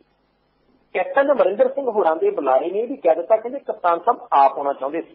ਜੀ। ਪਰ ਬਰਸੀ ਦਾ ਫੈਸਲਾ ਬਾਅਦ ਲਿਆ ਗਿਆ ਕਿ ਪਹਿਲੀ ਅਪ੍ਰੈਲ ਨੂੰ ਉਹਨਾਂ ਦੇ ਸਰਕਾਰੀ ਰੁਝੇਵੇਂ ਹੋਰ ਪਹਿਲਾਂ ਰੱਖਿਓ ਜਿਹੜੇ ਕਿ ਅੱਗੇ ਨਹੀਂ ਪਾਈ ਜਾ ਸਕਦੇ। ਇਸ ਕਰਕੇ ਉਹਨਾਂ ਦਾ ਮਨ ਬਹੁਤ ਸੀ ਉਹਨਾਂ ਨੇ ਆਪਣੇ 30 ਸਾਲ ਦਾ ਜਿਹੜਾ ਜਥੇਦਾਰ ਗੁਰਚਰਨ ਸਿੰਘ ਚੌੜਾ ਹੋਰਾਂ ਦੇ ਨਾਲ ਸਾਥ ਹੈ ਉਹਦਾ ਜ਼ਿਕਰ ਵੀ ਕੀਤਾ ਪਰ ਆ ਨਹੀਂ ਸਕਦੇ ਅਫਸੋਸ ਉਹਨਾਂ ਨੂੰ ਹੈਗਾ। ਇਹ ਜਿਹੜੀਆਂ ਆਖਰੀ ਤਿੰਨ ਚਾਰ ਲਾਈਨਾਂ ਨੇ ਬਹੁਤ ਮਹੱਤਵਪੂਰਨ ਨੇ। ਕੈਪਟਨ ਅਮਰਿੰਦਰ ਸਿੰਘ ਹੋਰੀ ਕਾਂਗਰਸ ਪਾਰਟੀ ਦੇ ਸੂਬਾ ਪ੍ਰਧਾਨ ਵੀ ਹੈਗੇ ਨੇ ਅਜੇ ਤੱਕ। ਉਹ ਮੁੱਖ ਮੰਤਰੀ ਵੀ ਕਾਂਗਰਸ ਸਰਕਾਰ ਦੇ ਹੈ। ਤੇ ਜਥੇਦਾਰ ਗੁਰਚਰਨ ਸਿੰਘ ਚੌੜਾ ਹੋਰਾਂ ਨੇ ਕਦੇ ਕਾਂਗਰਸ ਪਾਰਟੀ ਵੱਲ ਨੂੰ ਜਿਹੜਾ ਅੱਖ ਚੱਕ ਨਹੀਂ ਸੀ ਵੇਖਿਆ ਕਿ ਭਾਈ ਸਾਡਾ। ਤਾਂ ਉਹਨਾਂ ਦਾ ਲੈਣਾ ਦੇਣਾ ਕੋਈ ਨਹੀਂ ਸਾਰੀ ਉਮਰ ਵਿਰੋਧ ਰਿਹਾ। ਜੀ। ਇਹਦੇ ਬਾਵਜੂਦ ਵੀ ਕਾਂਗਰਸ ਪਾਰਟੀ ਦੀ ਸਰਕਾਰ ਜਥੇਦਾਰ ਗੁਰਚਰਨ ਸਿੰਘ ਹੋਰਾਂ ਦੀ ਬਰਸੀ ਮਨਾਉਣ ਕਿਉਂ ਲੱਗੀ ਹੈ? ਹਾਲਾਂਕਿ ਅਕਾਲੀ ਦਲ ਵਾਲੇ ਆਪਣੇ ਪੱਧਰ ਤੇ ਮਨਾਉਂਦੇ ਉਹਨਾਂ ਦਾ ਟੱਬਰ ਆਪਣੇ ਪੱਧਰ ਤੇ ਮਨਾ ਲੈਂਦਾ। ਉਹ ਵੱਖਰੀ ਸੀ। ਜੀ। ਇਹਦੇ ਪਿੱਛੇ ਇੱਕ ਬਹੁਤ ਵੱਡਾ ਕਾਰਨ ਇਹ ਲੱਗਦਾ ਹੈ ਕਿ ਜਥੇਦਾਰ ਗੁਰਚਰਨ ਸਿੰਘ ਚੌੜਾ ਦੇ ਬਹੁਤੇ ਸਮਰਥਕ ਪ੍ਰੋਫੈਸਰ ਪ੍ਰੇਮ ਸਿੰਘ ਚੰਦੂ ਮਾਜਰੇ ਵਰਗੇ ਉਹ ਬਾਦਲ ਪਰਿਵਾਰ ਨਾਲ ਜੁੜ ਗਏ ਜੀ। ਪੱਕੇ ਤੌਰ ਦੇ ਉੱਤੇ ਹਾਂਜੀ ਹਾਂਜੀ ਕਹਿਣ ਲੱਗ ਪਏ। ਹਲ ਵੀ ਮਿਲਿਆ ਆਪ ਐਮਪੀ ਬਣੇ ਹੋਏ ਨੇ। ਪੁੱਤ ਨੂੰ ਜਿਹੜਾ ਉਹਨਾਂ ਨੇ ਜਸਰ ਚੌੜਾ ਸਾਹਿਬ ਦੀ ਬੇਟੀ ਨੂੰ ਹਟਾ ਕੇ ਐਮਐਲਏ ਬਣਾ ਲਿਆ ਵਿਧਾਨ ਸਭਾ 'ਚ ਬੈਠਾ ਉਹਨਾਂ ਦਾ ਮੁੰਡਾ ਜੀ। ਹੁਣ ਉਹਦਾ ਲਾਭ ਉਹਨਾਂ ਨੂੰ ਮਿਲ ਗਿਆ। ਪਰ ਕਈ ਚੌੜਾ ਸਾਹਿਬ ਦੇ ਸਮਰਥਕ ਐਸੇ ਵੀ ਸੀ ਜਿਨ੍ਹਾਂ ਨੇ ਬਾਦਲ ਸਾਹਿਬ ਦੇ ਕੋਲ ਜਾਣ ਦੇ ਨਾਲੋਂ ਆਮ ਆਦਮੀ ਪਾਰਟੀ ਦੇ ਵਿੱਚ ਜਾਣਾ ਜ਼ਰੂਰੀ ਸਮਝਿਆ ਜਾਂ ਫਿਰ ਉਹ ਘਰੇ ਬੈਠੇ ਨੇ ਜੀ। ਹੁਣ ਕਿਤੇ ਨਾ ਕਿਤੇ ਕੈਪਟਨ ਅਮਰਿੰਦਰ ਸਿੰਘ ਦੀ ਨੀਤੀ ਇਹ ਲੱਗਦੀ ਹੈ ਕਿ ਆਮ ਆਦਮੀ ਪਾਰਟੀ ਹਾਰ ਗਈ ਹੈ। ਚੌੜਾ ਸਾਹਿਬ ਦੇ ਪਟਿਆਲਾ ਜ਼ਿਲ੍ਹੇ ਦੇ ਨਾਲ ਸੰਬੰਧਿਤ ਜਿਹੜੇ ਸਮਰਥਕ ਉਧਰਲੇ ਪਾਸੇ ਨੂੰ ਗਏ ਸੀ ਭਾਵੇਂ ਚੌੜਾ ਪਰਿਵਾਰ ਵਾਪਸ ਆਏ ਨਾ ਆਏ ਪਰ। ਕੈਪਟਨ ਅਮਰਿੰਦਰ ਸਿੰਘ ਉਹਨਾਂ ਦੇ ਵਿੱਚੋਂ ਕੁਝ ਇੱਕ ਨੂੰ ਕਾਂਗਰਸ ਪਾਰਟੀ ਦੇ ਵਿੱਚ ਸ਼ਾਮਿਲ ਕਰਾਉਣਾ ਚਾਹੁੰਦੇ ਆ ਉਹਦੇ ਪਿੱਛੇ ਵੀ ਦੋ ਕਾਰਨ ਨੇ। ਜੀ। ਬੜੀ ਜਲਦ ਚਾਰ ਵੱਡੇ ਪੰਜਾਬ ਦੇ ਸ਼ਹਿਰਾਂ ਦੀਆਂ ਨਿਗਮ ਚੋਣਾਂ ਆਉਣ ਵਾਲੀਆਂ ਉਹਨਾਂ ਵਿੱਚ ਪਟਿਆਲਾ ਵੀ ਇੱਕ ਹੈ। ਸਹੀ। ਕੈਪਟਨ ਅਮਰਿੰਦਰ ਸਿੰਘ ਦੇ ਲਈ ਆਪਣਾ ਜੱਦੀ ਸ਼ਹਿਰ ਜਿੱਤਣਾ ਬਹੁਤ ਜ਼ਰੂਰੀ ਹੈ ਜਿੱਤ ਵੀ ਜਾਣਗੇ ਪਰ ਜਿੰਨਾ ਵੱਧ ਕਾਂਗਰਸ ਨੂੰ ਮਜ਼ਬੂਤ ਕਰ ਸਕਣ ਉਹਨਾਂ ਕਰਨਾ ਚਾਹੁੰਦੇ ਆ ਜੀ। ਉਹਦੇ ਤੋਂ ਬਾਅਦ 2019 ਦੇ ਵਿੱਚ ਲੋਕ ਸਭਾ ਦੀ ਚੋਣ ਹੈ ਤੇ ਵਿੱਚ ਵਿਚਾਲੇ ਕਿਆਸ ਅਰਾਈਆਂ ਇਹ ਨੇ ਰੌਲਾ ਰੱਪਾ ਇਹ ਵੀ ਹੈ ਕਿ ਐਤਕੀ ਪਟਿਆਲੇ ਦੀ ਲੋਕ ਸਭਾ ਚੋਣ ਤੋਂ ਬੀਬੀ ਪ੍ਰਨੀਤ ਕੌਰ ਦੀ ਥਾਂ ਹੋ ਸਕਦਾ ਕਿ ਰਾਣਿੰਦਰ ਨੂੰ ਟੱਕਰ ਦਿੱਤੀ ਜਾਵੇ। ਜੀ। ਸਿਆਸਤ ਦੇ ਵਿੱਚ ਲਿਆਉਣਾ ਵੀ ਹੈ ਦੋ ਵਾਰੀ ਚੋਣ ਪਹਿਲੇ ਹੱਥ ਚੁੱਕਿਆ ਬੰਦਾ। ਜੀ। ਤੇ ਹੁਣ ਉਹਨਾਂ ਨੂੰ ਸਿਆਸਤ ਦੇ ਵਿੱਚ ਲਿਆ ਕੇ ਅੱਗੇ ਪਿੱਛੇ ਕੁਝ ਨਾ ਕੁਝ ਕਰਨਾ ਪਊਗਾ। ਜੀ। ਇਹ ਅਜੇ ਤੱਕ ਕਿਆਸ ਅਰਾਈਆਂ ਨੇ ਪਰ ਪਟਿਆਲੇ ਦੇ ਵਿੱਚ ਕੈਪਟਨ ਅਮਰਿੰਦਰ ਸਿੰਘ ਕਾਂਗਰਸ ਪਾਰਟੀ ਨੂੰ ਮਜ਼ਬੂਤ ਕਰਨਾ ਚਾਹੁੰਦੇ ਆ ਕਿਉਂਕਿ ਜੇ ਇਹਨਾਂ ਬੰਦਿਆਂ ਨੂੰ ਕੈਪਟਨ ਸਾਹਿਬ ਨੂੰ ਲੱਗਦਾ ਕਿ ਨਾ ਸੰਭਿਆ ਟੋੜਾ ਸਾਹਿਬ ਦੇ ਸਮਰਥਕਾਂ ਨੂੰ ਉਹ ਹੋ ਸਕਦਾ ਅਕਾਲੀ ਦਲ ਦੇ ਵਿੱਚ ਦੁਬਾਰਾ ਚੱਲ ਜਾਣ ਚੁਣੌਤੀ ਵਧੂ ਜੀ। ਵਿੱਚ ਵਿਚਾਲੇ ਵੀ ਖਬਰਾਂ ਆਉਂਦੀਆਂ ਨੇ ਕਿ ਕੈਪਟਨ ਕਮਲਜੀਤ ਸਿੰਘ ਹੋਰਾਂ ਦੇ ਜਿਹੜੇ ਸਮਰਥਕ ਨੇ ਉਹਨਾਂ ਦਾ ਇੱਕ ਵੱਡਾ ਹਿੱਸਾ ਜਿਹੜਾ ਆਮ ਆਦਮੀ ਪਾਰਟੀ ਦੇ ਵਿੱਚ ਚਲੇ ਗਿਆ ਸੀ ਉਹਨਾਂ ਨੂੰ ਵੀ ਮੋੜ ਕੇ ਕਾਂਗਰਸ ਪਾਰਟੀ ਦੇ ਵਿੱਚ ਲਿਆਉਣ ਦੀਆਂ ਜਿਹੜੀਆਂ ਕੋਸ਼ਿਸ਼ਾਂ ਨੇ ਕਿਉਂਕਿ ਇਹ ਦੋਵੇਂ ਪਰਿਵਾਰ ਟੋੜਾ ਸਾਹਿਬ ਦਾ ਪਰਿਵਾਰ ਤੇ ਕੈਪਟਨ ਕਮਲਜੀਤ ਸਿੰਘ ਹੋਰਾਂ ਦਾ ਪਰਿਵਾਰ ਜੀ। ਉਹ ਪਟਿਆਲੇ ਜ਼ਿਲ੍ਹੇ ਦੇ ਨਾਲ ਬੜਾ ਸੰਬੰਧ ਰੱਖਦੇ ਕਿ ਲੋਕ ਸਭਾ ਚੋਣ ਦੇ ਲਈ ਜੇ ਬਹੁਤਾ ਨਹੀਂ ਤਾਂ ਕੁਝ ਇੱਕ ਹਜ਼ਾਰ ਵੋਟਾਂ ਨੂੰ ਪ੍ਰਭਾਵਿਤ ਜ਼ਰੂਰ ਕਰਨਗੇ ਜੀ। ਇਹ ਵੀ ਗੱਲ ਬੜੀ ਵੱਡੀ ਹੈ। ਸਾਹਿਬ ਆਉਣ ਵਾਲੇ ਦਿਨਾਂ ਦੇ ਵਿੱਚ ਬੇਸ਼ੱਕ ਸਿਆਸਤ ਦੇ ਵਿੱਚ ਕੁਝ ਵੀ ਹੋ ਜਾਂਦਾ ਪਰ ਜਿਹੜੀਆਂ ਕਿਆਸਰਾਂਆਂ ਤੁਸੀਂ ਲਾਈਆਂ ਜੀ ਮੁਨਕਰ ਨਹੀਂ ਹੋਇਆ ਜਾ ਸਕਦਾ ਇਹਨਾਂ ਤੋਂ। ਇੱਕ ਸਿਮਰਜੀਤ ਸਿੰਘ ਮਾਨ ਹੈ ਜੀ ਇੱਕੋ ਹੀ ਹੈ ਵੈਸੇ ਇਹ ਸਿਆਸਤ ਦੇ ਵਿੱਚ ਮਾਨ ਸਾਹਿਬ। ਕੈਪਟਨ ਅਮਰਿੰਦਰ ਸਿੰਘ ਦੇ ਬੜੇ ਨਜ਼ਦੀਕੀ ਰਿਸ਼ਤੇਦਾਰ ਹੈ ਤੇ ਇੱਕ ਉਹਨਾਂ ਦਾ ਬਿਆਨ ਹੈ। ਅੱਜ ਕੱਲ ਬੜਾ ਚਰਚਾ ਦੇ ਵਿੱਚ ਹੈ ਜੀ। ਸੁਖਨਾਥ ਜੀ ਪੰਜਾਬ ਦੀਆਂ ਵਿਧਾਨ ਸਭਾ ਚੋਣਾਂ ਲੜੀਆਂ ਸਿਮਰਨਜੀਤ ਸਿੰਘ ਮਾਨ ਹੋਰਾਂ ਦੀ ਪਾਰਟੀ ਨੇ ਜਿਵੇਂ ਬਾਕੀ ਪਾਰਟੀਆਂ ਨੇ ਲੜੀਆਂ। ਜੀ। ਸਾਰਿਆਂ ਨੂੰ ਪਤਾ ਕਿ ਆਪਣੀ ਵੀ ਉਹਨਾਂ ਦੀ ਜ਼ਮਾਨਤ ਜ਼ਬਤ ਹੋਈ ਤੇ ਉਹਨਾਂ ਦੀ ਪਾਰਟੀ ਦਾ ਕੋਈ ਹੋਰ ਉਮੀਦਵਾਰ ਵੀ ਜਿਹੜੀ ਜ਼ਮਾਨਤ ਬਚਾ ਨਹੀਂ ਸਕਿਆ। ਜੀ। ਜਦੋਂ ਸਰਬੱਤ ਖਾਲਸਾ ਪਿੰਡ ਚੱਬਾ ਦੇ ਵਿੱਚ ਹੋਇਆ ਸੀ ਮਾਨ ਸਾਹਿਬ ਨੇ ਸੰਬੋਧਨ ਨਹੀਂ ਸੀ ਕੀਤਾ ਪਰ ਸਟੇਜ ਤੇ ਬੈਠੇ ਸੀ ਸੰਗਤਾਂ ਦੀ ਗਿਣਤੀ ਕਾਫੀ ਸੀ। ਜੀ। ਉਦੋਂ ਇਹ ਸੰਭਾਵਨਾਵਾਂ ਲਾਈਆਂ ਜਾ ਰਹੀਆਂ ਸੀ ਕਿ ਸ਼ਾਇਦ ਜੇ ਇਸ ਸੰਗਤ ਦੇ ਇਕੱਠ ਨੂੰ ਪ੍ਰਭਾਵਿਤ ਕਰਨ ਦੇ ਵਿੱਚ ਕਾਮਯਾਬ ਹੋਣਗੀਆਂ ਪੰਥਕ ਤਰ੍ਹਾਂ ਤੋਂ ਦੁਬਾਰਾ ਉਭਾਰ ਹੋ ਸਕਦਾ ਮੰਨਣ ਵਾਲੀਆਂ ਗੱਲਾਂ ਜੇ ਨਾ ਵੀ ਹੋਣ ਲੇਟ ਚੜ ਪਹੁੰਚ ਸਕਦੇ ਜੀ। ਪਰ ਵਿਧਾਨ ਸਭਾ ਚੋਣਾਂ ਦੇ ਨਤੀਜਿਆਂ ਨੇ ਸਾਫ਼ ਕਰ ਦਿੱਤਾ ਕਿ ਚੱਬਾ ਪਿੰਡ ਦੇ ਸਬਕ ਖਾਲਸਾ ਤੋਂ ਬਾਅਦ ਮਾਹੌਲ ਨੂੰ ਆਪਣੇ ਹੱਕ ਦੇ ਵਿੱਚ ਕਰਨ 'ਚ ਬੁਰੀ ਤਰ੍ਹਾਂ ਅਸਫਲ ਸਿੱਧ ਹੋਈਆਂ ਨੇ। ਸਿਮਰਨਜੀਤ ਸਿੰਘ ਮਾਨ ਤੇ ਬਾਕੀ ਪੰਥਕ ਧਿਰਾਂ। ਜੀ। ਹੁਣ ਵਿਧਾਨ ਸਭਾ ਚੋਣਾਂ ਹਾਰੀਆਂ ਨੇ ਇਤਿਹਾਸਕ ਹਾਰ ਸੀ ਬਹੁਤ ਘੱਟ ਵੋਟਾਂ ਪਈਆਂ ਸੀ ਸਿਮਰਨਜੀਤ ਸਿੰਘ ਮਾਨ ਦੇ ਉਮੀਦਵਾਰਾਂ ਨੇ। ਜੀ। ਇਹ ਉਹਨਾਂ ਨੇ ਨਤੀਜਿਆਂ ਦੇ ਜੰਜਾਲ ਦੇ ਵਿੱਚੋਂ ਹੁਣ ਨਿਕਲਣਾ ਸ਼ੁਰੂ ਕਰ ਦਿੱਤਾ। ਤੋਂ ਕਿ ਸਾਥੀਆਂ ਨੂੰ ਨਾਲ ਲੈ ਕੇ ਆਪਣੀ ਸ਼੍ਰੋਮਣੀ ਅਕਾਲੀ ਦਲ ਅੰਮ੍ਰਿਤਸਰ ਪਾਰਟੀ ਵੱਲੋਂ ਉਹਨਾਂ ਨੇ ਡਿਪਟੀ ਕਮਿਸ਼ਨਰ ਜਲੰਧਰ ਨੂੰ ਇੱਕ ਮੰਗ ਪੱਤਰ ਦਿੱਤਾ। ਜੀ। ਮੰਗ ਪੱਤਰ ਦਿੱਤਾ ਉਹ ਕਹਿੰਦੇ ਕਿ ਜਿਹੜਾ ਬਜਟ ਪੇਸ਼ ਕਰ ਰਹੇ ਨਾ ਐਸਸੀਪੀਸੀ ਵਾਲੇ ਇਹ ਐਸਸੀਪੀਸੀ ਵਾਲੇ ਬਜਟ ਪੇਸ਼ ਨਹੀਂ ਕਰ ਸਕਦੇ ਕਿਉਂਕਿ ਜਿਹੜਾ ਮੌਜੂਦਾ ਸ਼੍ਰੋਮਣੀ ਗੁਰਦੁਆਰਾ ਪ੍ਰਬੰਧਕ ਕਮੇਟੀ ਦਾ ਹਾਊਸ ਹੈ ਜੀ। ਉਹ ਹਾਊਸ ਆਪਣੀ ਮਿਆਦ ਪੂਰੀ ਕਰ ਚੁੱਕਿਆ ਉਹਦਾ ਕਾਰਜਕਾਲ ਖਤਮ ਹੋ ਚੁੱਕਿਆ ਉਹਨੂੰ ਕੋਈ ਅਧਿਕਾਰ ਨਹੀਂ ਕਿ ਉਹ ਕਰੋੜਾਂ ਅਰਬਾਂ ਰੁਪਏ ਦਾ ਬਜਟ ਪੇਸ਼ ਕਰਕੇ ਉਸ ਪੈਸੇ ਨੂੰ ਕਿਸੇ ਪਾਸੇ ਖਰਚੇ। ਜੀ। ਤੁਰੰਤ ਮੰਗ ਕਰਤੀ ਉਹਨਾਂ ਨੇ ਮੰਗ ਪੱਤਰ ਲਿਆਣੀ ਕਿ ਜਿੰਨੀ ਜਲਦੀ ਹੋ ਸਕਦਾ ਸ਼੍ਰੋਮਣੀ ਗੁਰਦੁਆਰਾ ਪ੍ਰਬੰਧਕ ਕਮੇਟੀ ਦੀਆਂ ਚੋਣਾਂ ਕਰਵਾਈਆਂ ਜਾਣ ਬਿਨਾਂ ਕਿਸੇ ਦੇਰੀ ਤੋਂ। ਜੀ। ਜਲੰਧਰ ਦੇ ਵਿੱਚ ਡੀਸੀ ਨੂੰ ਮੰਗ ਪੱਤਰ ਦੇਣ ਤੋਂ ਬਾਅਦ ਉਹਨਾਂ ਨੇ ਫਿਰ ਪੱਤਰਕਾਰ ਭਾਈਚਾਰੇ ਦੇ ਨਾਲ ਗੱਲਾਂ ਬਾਤਾਂ ਸ਼ੁਰੂ ਕੀਤੀਆਂ। ਜੀ। ਕਿ ਪੱਤਰਕਾਰਾਂ ਨੂੰ ਆਪਾਂ ਦੱਸਦੇ ਹਾਂ ਪੱਤਰਕਾਰਾਂ ਨੇ ਸਵਾਲ ਪੁੱਛੇ ਤੇ ਪਹਿਲਾ ਸਵਾਲ ਇੱਕ ਪੱਤਰਕਾਰ ਦਾ ਹੀ ਸੀ। ਉਹ ਕਹਿੰਦੇ ਜੀ ਇੰਨੀ ਕੁ ਗੱਲ ਦੱਸਿਓ ਕਿ ਕੈਪਟਨ ਅਮਰਿੰਦਰ ਸਿੰਘ ਜਿਹੜੇ ਨੇ ਉਹ ਸੂਬੇ ਦੇ ਮੁੱਖ ਮੰਤਰੀ ਬਣ ਗਏ ਆ ਤੁਹਾਡੇ ਬੜੇ ਨਜ਼ਦੀਕੀ ਨੇ। ਕੀ ਉਮੀਦਾਂ ਕੀਤੀਆਂ ਜਾ ਸਕਦੀਆਂ? ਤਾਂ ਸਿਮਰਨਜੀਤ ਸਿੰਘ ਮਾਨ ਹੋਰੀ ਕਹਿੰਦੇ ਕਿ ਕੀ ਉਮੀਦਾਂ ਕਰਨੀਆਂ ਵੇ ਤੁਸੀਂ? ਜੀ। ਉਹ ਬੰਦਾ ਜਿਹੜਾ ਮੁੱਖ ਮੰਤਰੀ ਬਣਨ ਤੋਂ ਬਾਅਦ ਕੇਪੀਐਸ ਗਿੱਲ ਨੂੰ ਗੁਲਦਸਤਾ ਲੈ ਕੇ ਮਿਲਿਆ ਹੋਵੇ। ਜੀ। ਉਹ ਬੰਦਾ ਜਿਹੜਾ ਮੁੱਖ ਮੰਤਰੀ ਬਣਨ ਤੋਂ ਬਾਅਦ ਪ੍ਰਧਾਨ ਮੰਤਰੀ ਨਰਿੰਦਰ ਮੋਦੀ ਨੂੰ ਮਿਲਿਆ ਹੋਵੇ ਤੇ ਕੇਪੀਐਸ ਗਿੱਲ ਤੇ ਨਰਿੰਦਰ ਮੋਦੀ ਸਿਮਰਨਜੀਤ ਸਿੰਘ ਮਾਨ ਹੋਰਾਂ ਦੇ ਦੱਸਣ ਮੁਤਾਬਕ ਆਖਣ ਮੁਤਾਬਕ ਸਿੱਖ ਵਿਰੋਧੀ ਬੰਦੇ ਨੇ। ਉਹ ਕਹਿੰਦੇ ਇਹਨਾਂ ਦੋਵਾਂ ਸਰਕਾਰੀਆਂ ਤੇ ਤੁਹਾਨੂੰ ਪਤਾ ਲੱਗ ਜਾਣਾ ਚਾਹੀਦਾ ਕਿ ਪੰਜਾਬ ਦੇ ਸਿੱਖਾਂ ਨੂੰ, ਭਾਰਤ ਦੇ ਸਿੱਖਾਂ ਨੂੰ ਕੈਪਟਨ ਅਮਰਿੰਦਰ ਸਿੰਘ ਤੋਂ ਕੋਈ ਬਹੁਤੀ ਆਸ ਨਹੀਂ ਰੱਖਣੀ ਚਾਹੀਦੀ। ਦੂਸਰੀ ਗੱਲ, ਉਹਨਾਂ ਨੇ ਵੀ ਕਹਿਤੀ ਜਦੋਂ ਨਵਜੋਤ ਸਿੰਘ ਸਿੱਧੂ ਦੇ ਬਾਰੇ ਸਵਾਲ ਆਇਆ, ਉਹ ਕਹਿੰਦੇ ਕੈਪਟਨ ਅਮਰਿੰਦਰ ਸਿੰਘ ਨੇ ਇੰਨੇ ਗਲਤ ਫੈਸਲੇ ਕੀਤੇ। ਬੜਾ ਗਲਤ ਫੈਸਲਾ ਕਹਿੰਦੇ ਨਵਜੋਤ ਸਿੰਘ ਸਿੱਧੂ, ਉਹਨੂੰ ਤਾਂ ਚੋਣ ਲੜਨ ਦਾ ਮੌਕਾ ਨਹੀਂ ਸੀ ਮਿਲਣਾ ਚਾਹੀਦਾ। ਕੈਪਟਨ ਅਮਰਿੰਦਰ ਸਿੰਘ ਨੇ ਉਹਨੂੰ ਕੈਬਨਿਟ ਮੰਤਰੀ ਬਣਾਤਾ। ਉਹਦੀ ਉਹਨਾਂ ਨੇ ਤਰਕ ਦਿੱਤਾ। ਕਹਿੰਦੇ ਸਿੱਧੂ ਇੱਕ ਸਜ਼ਾ ਜਾਫਤਾ ਬੰਦਾ। ਉਹਦੀ ਸਜ਼ਾ ਦੇ ਉੱਤੇ ਕਹਿੰਦੇ ਰੋਕ ਲੱਗੀ ਆ ਵੀ ਸਜ਼ਾ ਰੱਦ ਨਹੀਂ ਹੋਈ। ਤੇ ਜਿਹੜਾ ਬੰਦਾ ਸਜ਼ਾ ਜਾਫਤਾ ਹੋਵੇ ਉਹਨੂੰ ਸਰਕਾਰੀ ਖਜ਼ਾਨੇ ਦੇ ਵਿੱਚੋਂ ਕਹਿੰਦੇ ਕਿ ਚੁਆਨੀ ਨਹੀਂ ਦਿੱਤੀ ਜਾ ਸਕਦੀ। ਤੇ ਤੁਸੀਂ ਸਰਕਾਰੀ ਗੱਡੀਆਂ ਦਿੱਤੀਆਂ ਹੋਈਆਂ ਨੇ ਸਰਕਾਰੀ ਸਿਕਿਉਰਿਟੀ ਦਿੱਤੀ ਹੋਈ ਹੈ। ਜੀ। ਹੁਣ ਸਮੈਰ ਜੀ ਇਹ ਸਾਰੀਆਂ ਗੱਲਾਂ ਬਾਤਾਂ ਸਿਮਰਨਜੀਤ ਮਾਨ ਹੋਰਾਂ ਨੇ ਕਹਿ ਦਿੱਤੀਆਂ ਕਹਿੰਦੇ ਕਿ ਤੁਰੰਤ ਨਵਜੋਤ ਸਿੰਘ ਸਿੱਧੂ ਮੰਤਰੀ ਮੰਡਲ ਦੇ ਵਿੱਚੋਂ ਕੈਪਟਨ ਨੂੰ ਬਾਹਰ ਕੱਢ ਦੇਣਾ ਚਾਹੀਦਾ ਜੀ। ਅਗਲਾ ਸਵਾਲ ਆ ਗਿਆ ਨਸ਼ਾ ਤਸਕਰੀ ਸੰਬੰਧੀ ਕਹਿੰਦੇ ਕੈਪਟਨ ਸਾਹਿਬ ਬੜਾ ਸਰਗਰਮ ਹੈ ਵੀ ਕੈਪਟਨ ਅਮਰਿੰਦਰ ਸਿੰਘ ਨੇ ਤਾਂ ਧੰਨ ਧੰਨ ਕਰਾਤੀ ਫੜ ਕੇ। ਤਾਂ ਸਿਮਰਨਜੀਤ ਸਿੰਘ ਮਾਨ ਹੋਰਾਂ ਨੇ ਤੁਰੰਤ ਕਹਿਤਾ ਕਹਿੰਦੇ ਸਾਨੂੰ ਤੇ ਇਹ ਵੀ ਪਤਾ ਲੱਗਿਆ ਜੀ। ਕਿ ਸਪੈਸ਼ਲ ਟਾਸਕ ਫੋਰਸ ਬਣਾ ਕੇ ਜਿਹੜੀ ਸਰਗਰਮੀ ਕੈਪਟਨ ਅਮਰਿੰਦਰ ਸਿੰਘ ਦੀ ਸਰਕਾਰ ਨੇ ਕਰਨੀ ਹੈ ਉਹਦੇ ਲਈ ਤਸਕਰਾਂ ਦੀਆਂ ਲਿਸਟਾਂ ਬਣਾਈਆਂ ਗਈਆਂ ਨੇ। ਜੀ। ਤੇ ਤਸਕਰਾਂ ਦੀਆਂ ਲਿਸਟਾਂ ਦੇ ਵਿੱਚੋਂ ਕਹਿੰਦੇ ਵੱਡੇ ਵੱਡੇ ਨਾਂ ਜਿਹੜੇ ਨੇ ਉਹ ਬਾਹਰ ਕੱਢ ਦਿੱਤੇ ਗਏ ਖਾਸ ਤੌਰ ਦੇ ਉੱਤੇ ਸ਼੍ਰੋਮਣੀ ਅਕਾਲੀ ਦਲ ਤੇ ਭਾਰਤੀ ਜਨਤਾ ਪਾਰਟੀ ਨਾਲ ਸੰਬੰਧਿਤ ਜਿਹੜੇ ਤਸਕਰ ਸੀ।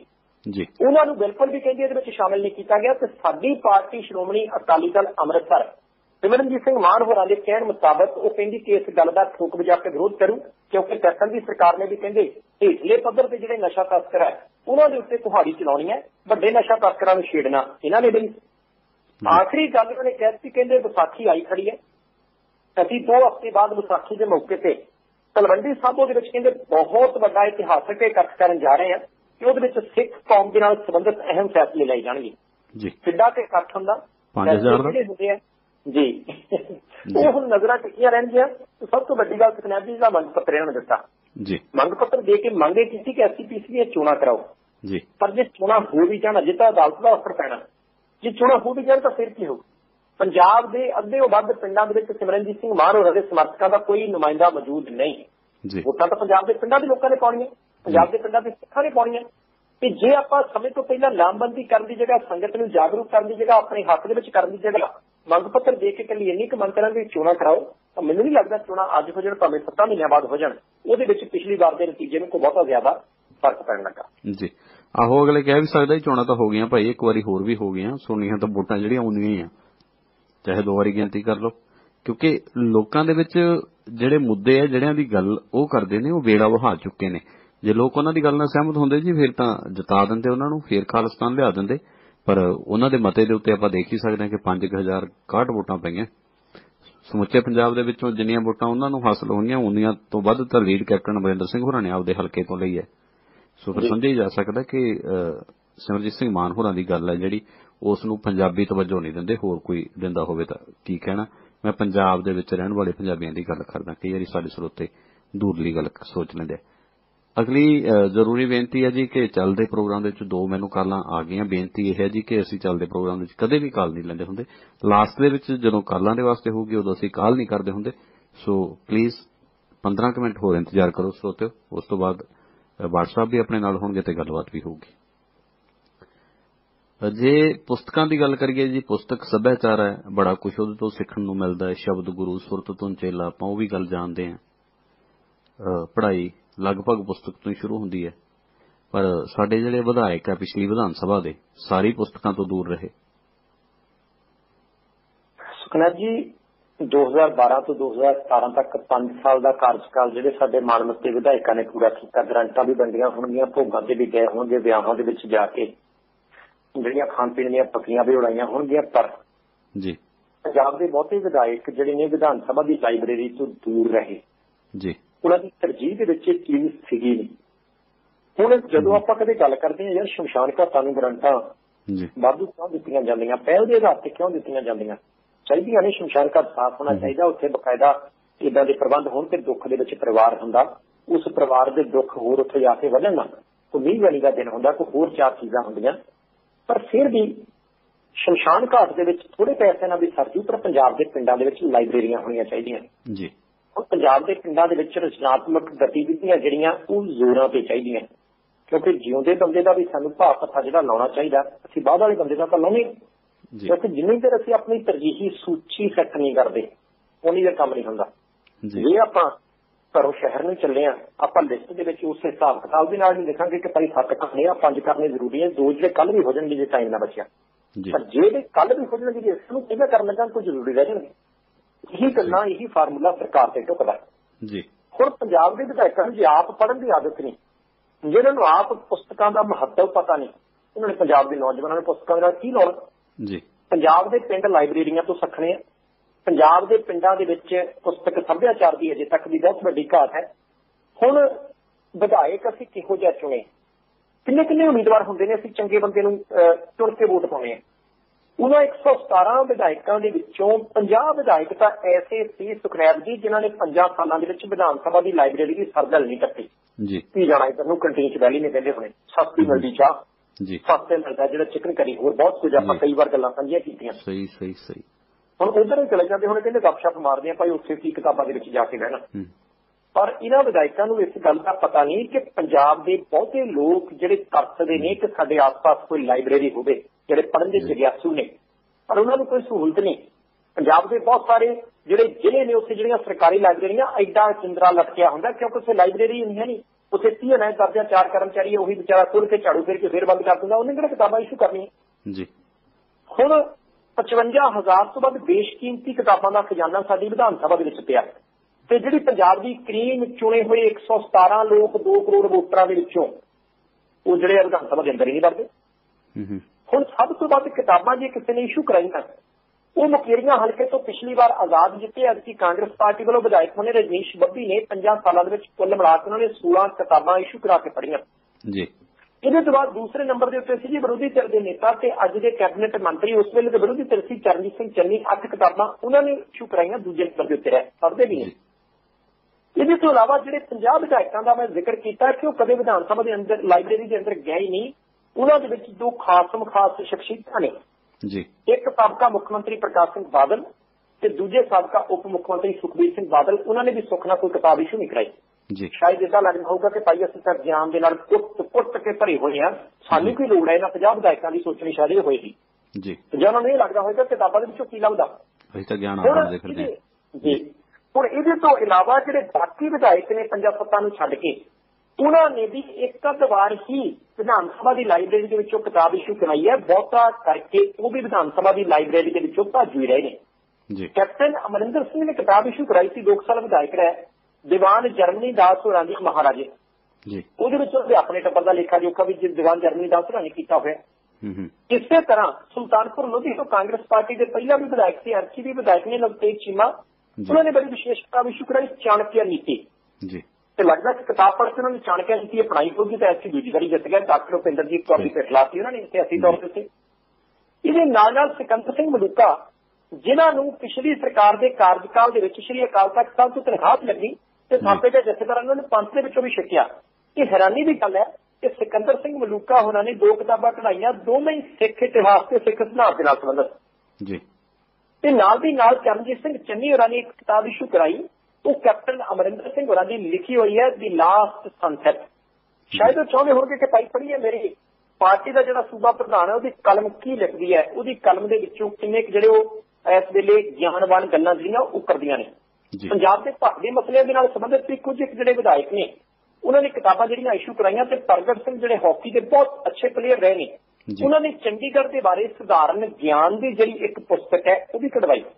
ਜੀ। ਤੇ ਹੈਰਾਨੀ ਦੀ ਗੱਲ ਇਹ ਵੀ ਹੈ ਕਿ ਪੰਜਾਬ ਦਾ ਇੱਕ ਵਿਧਾਇਕ ਜਿਹੜਾ ਹੈ, ਉਹਨੇ ਸਿਵਲ ਸਰਵਿਸ ਦੀ ਕਿਤਾਬ ਜਿਹੜੀ ਹੈ ਕਿ ਐਗਜ਼ਾਮ ਕਿਵੇਂ ਦੇਣਾ ਹੈ, ਉਹ ਵੀ ਕਢਵਾ ਕੇ ਆਪਣੇ ਗਿਆਨ ਦੇ ਵਿੱਚ ਜਿਹੜਾ ਵਾਧਾ ਕੀਤਾ ਹੋਏਗਾ ਚਾਹੇ ਕਿਸੇ ਹੋਰ ਨੂੰ ਦਿੱਤੀ, ਪਰ ਜਿਨ੍ਹਾਂ ਵਿਧਾਇਕਾਂ ਨੇ ਕਿਤਾਬਾਂ ਦੇ ਨਾਲ ਮਾੜੀ ਮੋਟੀ ਯਾਰੀ ਪਗਾਈ ਹੈ, ਉਹਨਾਂ ਦੀ ਗੱਲ ਫਿਕਸਾ ਪੜਨ ਵਾਲੀ ਹੈ ਤੇ ਜਿਨ੍ਹਾਂ ਨੇ ਲਾਇਬ੍ਰੇਰੀ ਦੇ ਵਿੱਚ ਇੱਕ ਵਾਰੀ ਵੀ ਪੈਰ ਨਹੀਂ ਪਾਇਆ ਕੱਲ ਨੂੰ ਕਿਸੇ ਵੀ ਸੱਜਣ ਨੂੰ ਉਹ ਲੀਡਰ ਮਿਲਣ, ਕਿਸੇ ਵੀ ਪਿੰਡ ਦੇ ਵਿੱਚ ਜਾ ਕੇ ਕੋਈ ਧੰਨਵਾਦੀ ਦੌਰਾ ਕਰਨ ਜਾਂ ਆਉਣ ਵਾਲੇ ਸਮੇਂ 'ਚ ਵੋਟਾਂ ਮੰਗਣ, ਤਾਂ ਪੁੱਛਣਾ ਜ਼ਰੂਰ ਚਾਹੀਦਾ ਕਿ ਭਾਈ ਦਸਾਂ ਕਿਤਾਬਾਂ ਦੇ ਨਾਂ ਹੀ ਦੱਸ ਦਿਓ, ਉਹਨਾਂ ਦੇ ਲੇਖਕਾਂ ਦੇ ਨਾਂ ਦੱਸ ਦਿਓ, ਤਾਂ ਲੀਡਰ ਸਾਹਿਬ ਤੁਹਾਨੂੰ ਮੰਨਗੇ 10 ਸਾਲ ਦੀ ਵੋਟਾਂ ਤੁਹਾਡੀਆਂ। ਜੀ, ਗੱਲ ਤਾਂ ਇਹ ਵੀ ਠੀਕ ਹੈ। ਵਿਧਾਨ ਸਭਾ ਦੇ ਵਿੱਚ ਸੈਸ਼ਨ ਜਿਹੜਾ ਸੀ ਪਹਿਲਾਂ ਹੀ, ਤੇ ਪਹਿਲੇ ਸੈਸ਼ਨ ਦਾ ਆਖਰੀ ਦਿਨ ਅੱਜ ਸੀ। ਮਜੀਠੀਆ ਤੇ ਸਿੱਧੂ ਦੇ ਵਿਚਾਲੇ ਕਾਫੀ ਤਕਰਾਰ ਹੋਈ ਹੈ ਜੀ, ਸ਼ਬਦੀ ਜੰਗ ਚੱਲੀ ਹੈ। ਕੀ ਮਾਹੌਲ ਰਿਹਾ ਹੈ ਵਟਸਐਪ ਸਰ ਜੀ ਇਹ ਲੜਾਈ ਜਿਹੜੀ ਵੇਖਣ ਨੂੰ ਅੱਜ ਮਿਲੀ ਹੈ ਜੀ। ਨਹੀਂ ਤਾਂ ਇਹ ਝੁੱਕੀ ਤਾਂ ਬਹੁਤ ਚਿਰ ਦੀ ਜਾਂਦੀ ਸੀ ਢੱਕੀ ਰੇਚੀ ਜਾਂਦੀ ਸੀ ਹੁਣ ਢੱਕੀਆਂ ਜੀ। ਚੱਕਿਆ ਗਿਆ। ਕਿਉਂਕਿ ਜਦੋਂ ਨਵਜੋਤ ਸਿੰਘ ਸਿੱਧੂ ਭਾਰਤੀ ਜਨਤਾ ਪਾਰਟੀ ਦੇ ਲਗਾਤਾਰ ਅੰਮ੍ਰਿਤਸਰ ਤੋਂ ਮੈਂਬਰ ਪਾਰਲੀਮੈਂਟ ਬਣੀ ਜਾਂਦੇ ਸੀ ਉਦੋਂ ਅਕਾਲੀਆਂ ਦੇ ਕੁਝ ਲੀਡਰਾਂ ਨੂੰ ਲੱਗਦਾ ਸੀ ਕਿ ਭਾਈ ਇਹ ਸਿੱਖ ਲੀਡਰ ਹੈ। ਤੇ ਸਿੱਖ ਚਿਹਰਾ ਜੇ ਪੰਜਾਬ ਦੇ ਵਿੱਚ ਇੱਦੀ ਅੱਗੇ ਵੱਧਦਾ ਗਿਆ ਤਾਂ ਸਾਡੀ ਫੱਟੀਆਂ ਕਿਤੇ ਪਹੁੰਚੀ ਜਾਏ। ਜੀ। ਤੇ ਉਦੋਂ ਬਾਰ-ਬਾਰ ਇਹ ਗੱਲਾਂ ਬਾਤਾਂ ਸਾਹਮਣੇ ਆਈਆਂ। ਕਈ ਵਾਰ ਸਿੱਧੂ ਜੋੜੇ ਨੇ ਵੀ ਆਪਣੀਆਂ ਗੱਲਾਂ ਬਾਤਾਂ ਵਿੱਚ ਕਦੇ ਪ੍ਰਤੱਖ ਤੇ ਕਦੇ ਅਪ੍ਰਤੱਖ ਰੂਪ ਚ ਕਹਿਤਾ ਸੀ ਕਿ ਜਿਹੜੇ ਵਿਕਰਮ ਸਿੰਘ ਮਜੀਠੀਆ ਨੇ ਉਹ ਸਾਡੇ ਰਾਹ ਦੇ ਵਿੱਚ ਕੰਡੇ ਬੀਜ ਰਿਹਾ ਵਿਕਾਸ ਦੇ ਕੰਮ ਅੱਗੇ ਤੁਰਨ ਨਹੀਂ ਦੇ ਰਿਹਾ। ਤੇ। ਵਿਕਰਮ ਸਿੰਘ ਮਜੀਠੀਆ ਵੀ ਸਿੱਧੂ ਜੋੜੇ ਵੱਲੋਂ ਜਦੋਂ ਕਦੇ ਅਕਾਲੀ ਦਲ ਦੇ ਉੱਤੇ ਵਾਰ ਹੁੰਦਾ ਸੀ ਤਾਂ ਮੋਹਰੇ ਹੋ ਹੋ ਕੇ ਢਾਲ ਬਣ ਬਣ ਕੇ ਖੜਦੇ ਸੀ। ਜੀ। ਹੁਣ ਸਥਿਤੀਆਂ ਵੱਖਰੀਆਂ ਨੇ। ਉਦੋਂ ਵਿਕਰਮ ਸਿੰਘ ਮਜੀਠੀਆ ਜਿਹੜੇ ਆ ਵਿਧਾਨ ਸਭਾ ਦੇ ਵਿੱਚ ਹੁੰਦੇ ਸੀ ਕੈਬਨਿਟ ਮੰਤਰੀ ਹੁੰਦੇ ਸੀ ਤੇ ਉਹਨਾਂ ਦੀ ਕੁਰਸੀ ਬੜੀ ਉੱਪਰ ਹੁੰਦੀ ਸੀ ਬਹੁਤਾ ਤਾਕਤ ਵਾਲਾ ਮਹਿਕਮਾ ਉਹਨਾਂ ਦੇ ਕੋਲ ਸੀ। ਜੀ। ਪਰ ਹੁਣ ਸਥਿਤੀਆਂ ਵੱਖਰੀਆਂ ਨੇ। ਹੁਣ ਉਹ ਵਿਰੋਧੀ ਧਿਰ ਦੇ ਬੈਂਚਾਂ ਦੇ ਉੱਤੇ ਬੈਠੇ ਹੋਏ ਆ। ਵਿਰੋਧੀ ਧਿਰ ਦੇ ਵਿੱਚੋਂ ਵੀ ਰੋਲ ਨੰਬਰ ਹੁੰਦਾ ਦੋ ਹੀ ਹੈ ਕਿਉਂਕਿ ਆਮ ਆਦਮੀ ਪਾਰਟੀ ਦਾ ਰੋਲ ਨੰਬਰ ਇੱਕ ਹੈ। ਜੀ। ਤੇ ਨਵਜੋਤ ਸਿੰਘ ਸਿੱਧੂ ਜਿਹੜੇ ਉਹ ਕੈਬਨਿਟ ਮੰਤਰੀ ਹੈ।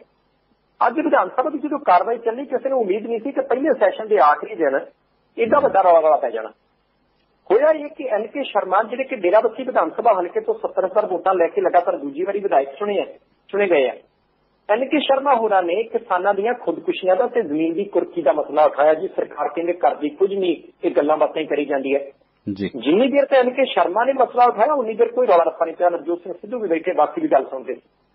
ਪਰ ਵਿਕਰਮ ਸਿੰਘ ਮਜੀਠੀਆ ਨੂੰ ਪਤਾ ਨਹੀਂ ਕਿਉਂ ਐਨ ਕੇ ਸ਼ਰਮਾ ਨੂੰ ਸਾਥ ਦੇਣ ਲੱਗ ਪਿਆ ਠੀਕ ਹੈ ਜੀ ਜੋ ਸ਼ਰਮਾ ਸਾਹਿਬ ਕਹਿੰਦੇ ਬਿਲਕੁਲ ਠੀਕ ਹੈ ਜੀ। ਜਿਵੇਂ ਉਹਨਾਂ ਨੂੰ ਆਦਤ ਪਈ ਹੋਈ ਹੈ ਪਹਿਲਾਂ। ਜਦੋਂ ਕੈਬਨਿਟ ਮੰਤਰੀ ਹੁੰਦੇ ਸੀ ਉਸੇ ਹਿਸਾਬ ਦੇ ਨਾਲ ਕਿ ਮੇਰੇ ਮੂਹਰੇ ਕਿਹੜਾ ਬੋਲ ਲੂ ਪਰ ਹੁਣ ਵਿਰੋਧੀ ਧਿਰ ਦੇ ਵਿੱਚ ਸ਼ਾਇਦ ਚੇਤਾ ਭੁੱਲ ਗਿਆ।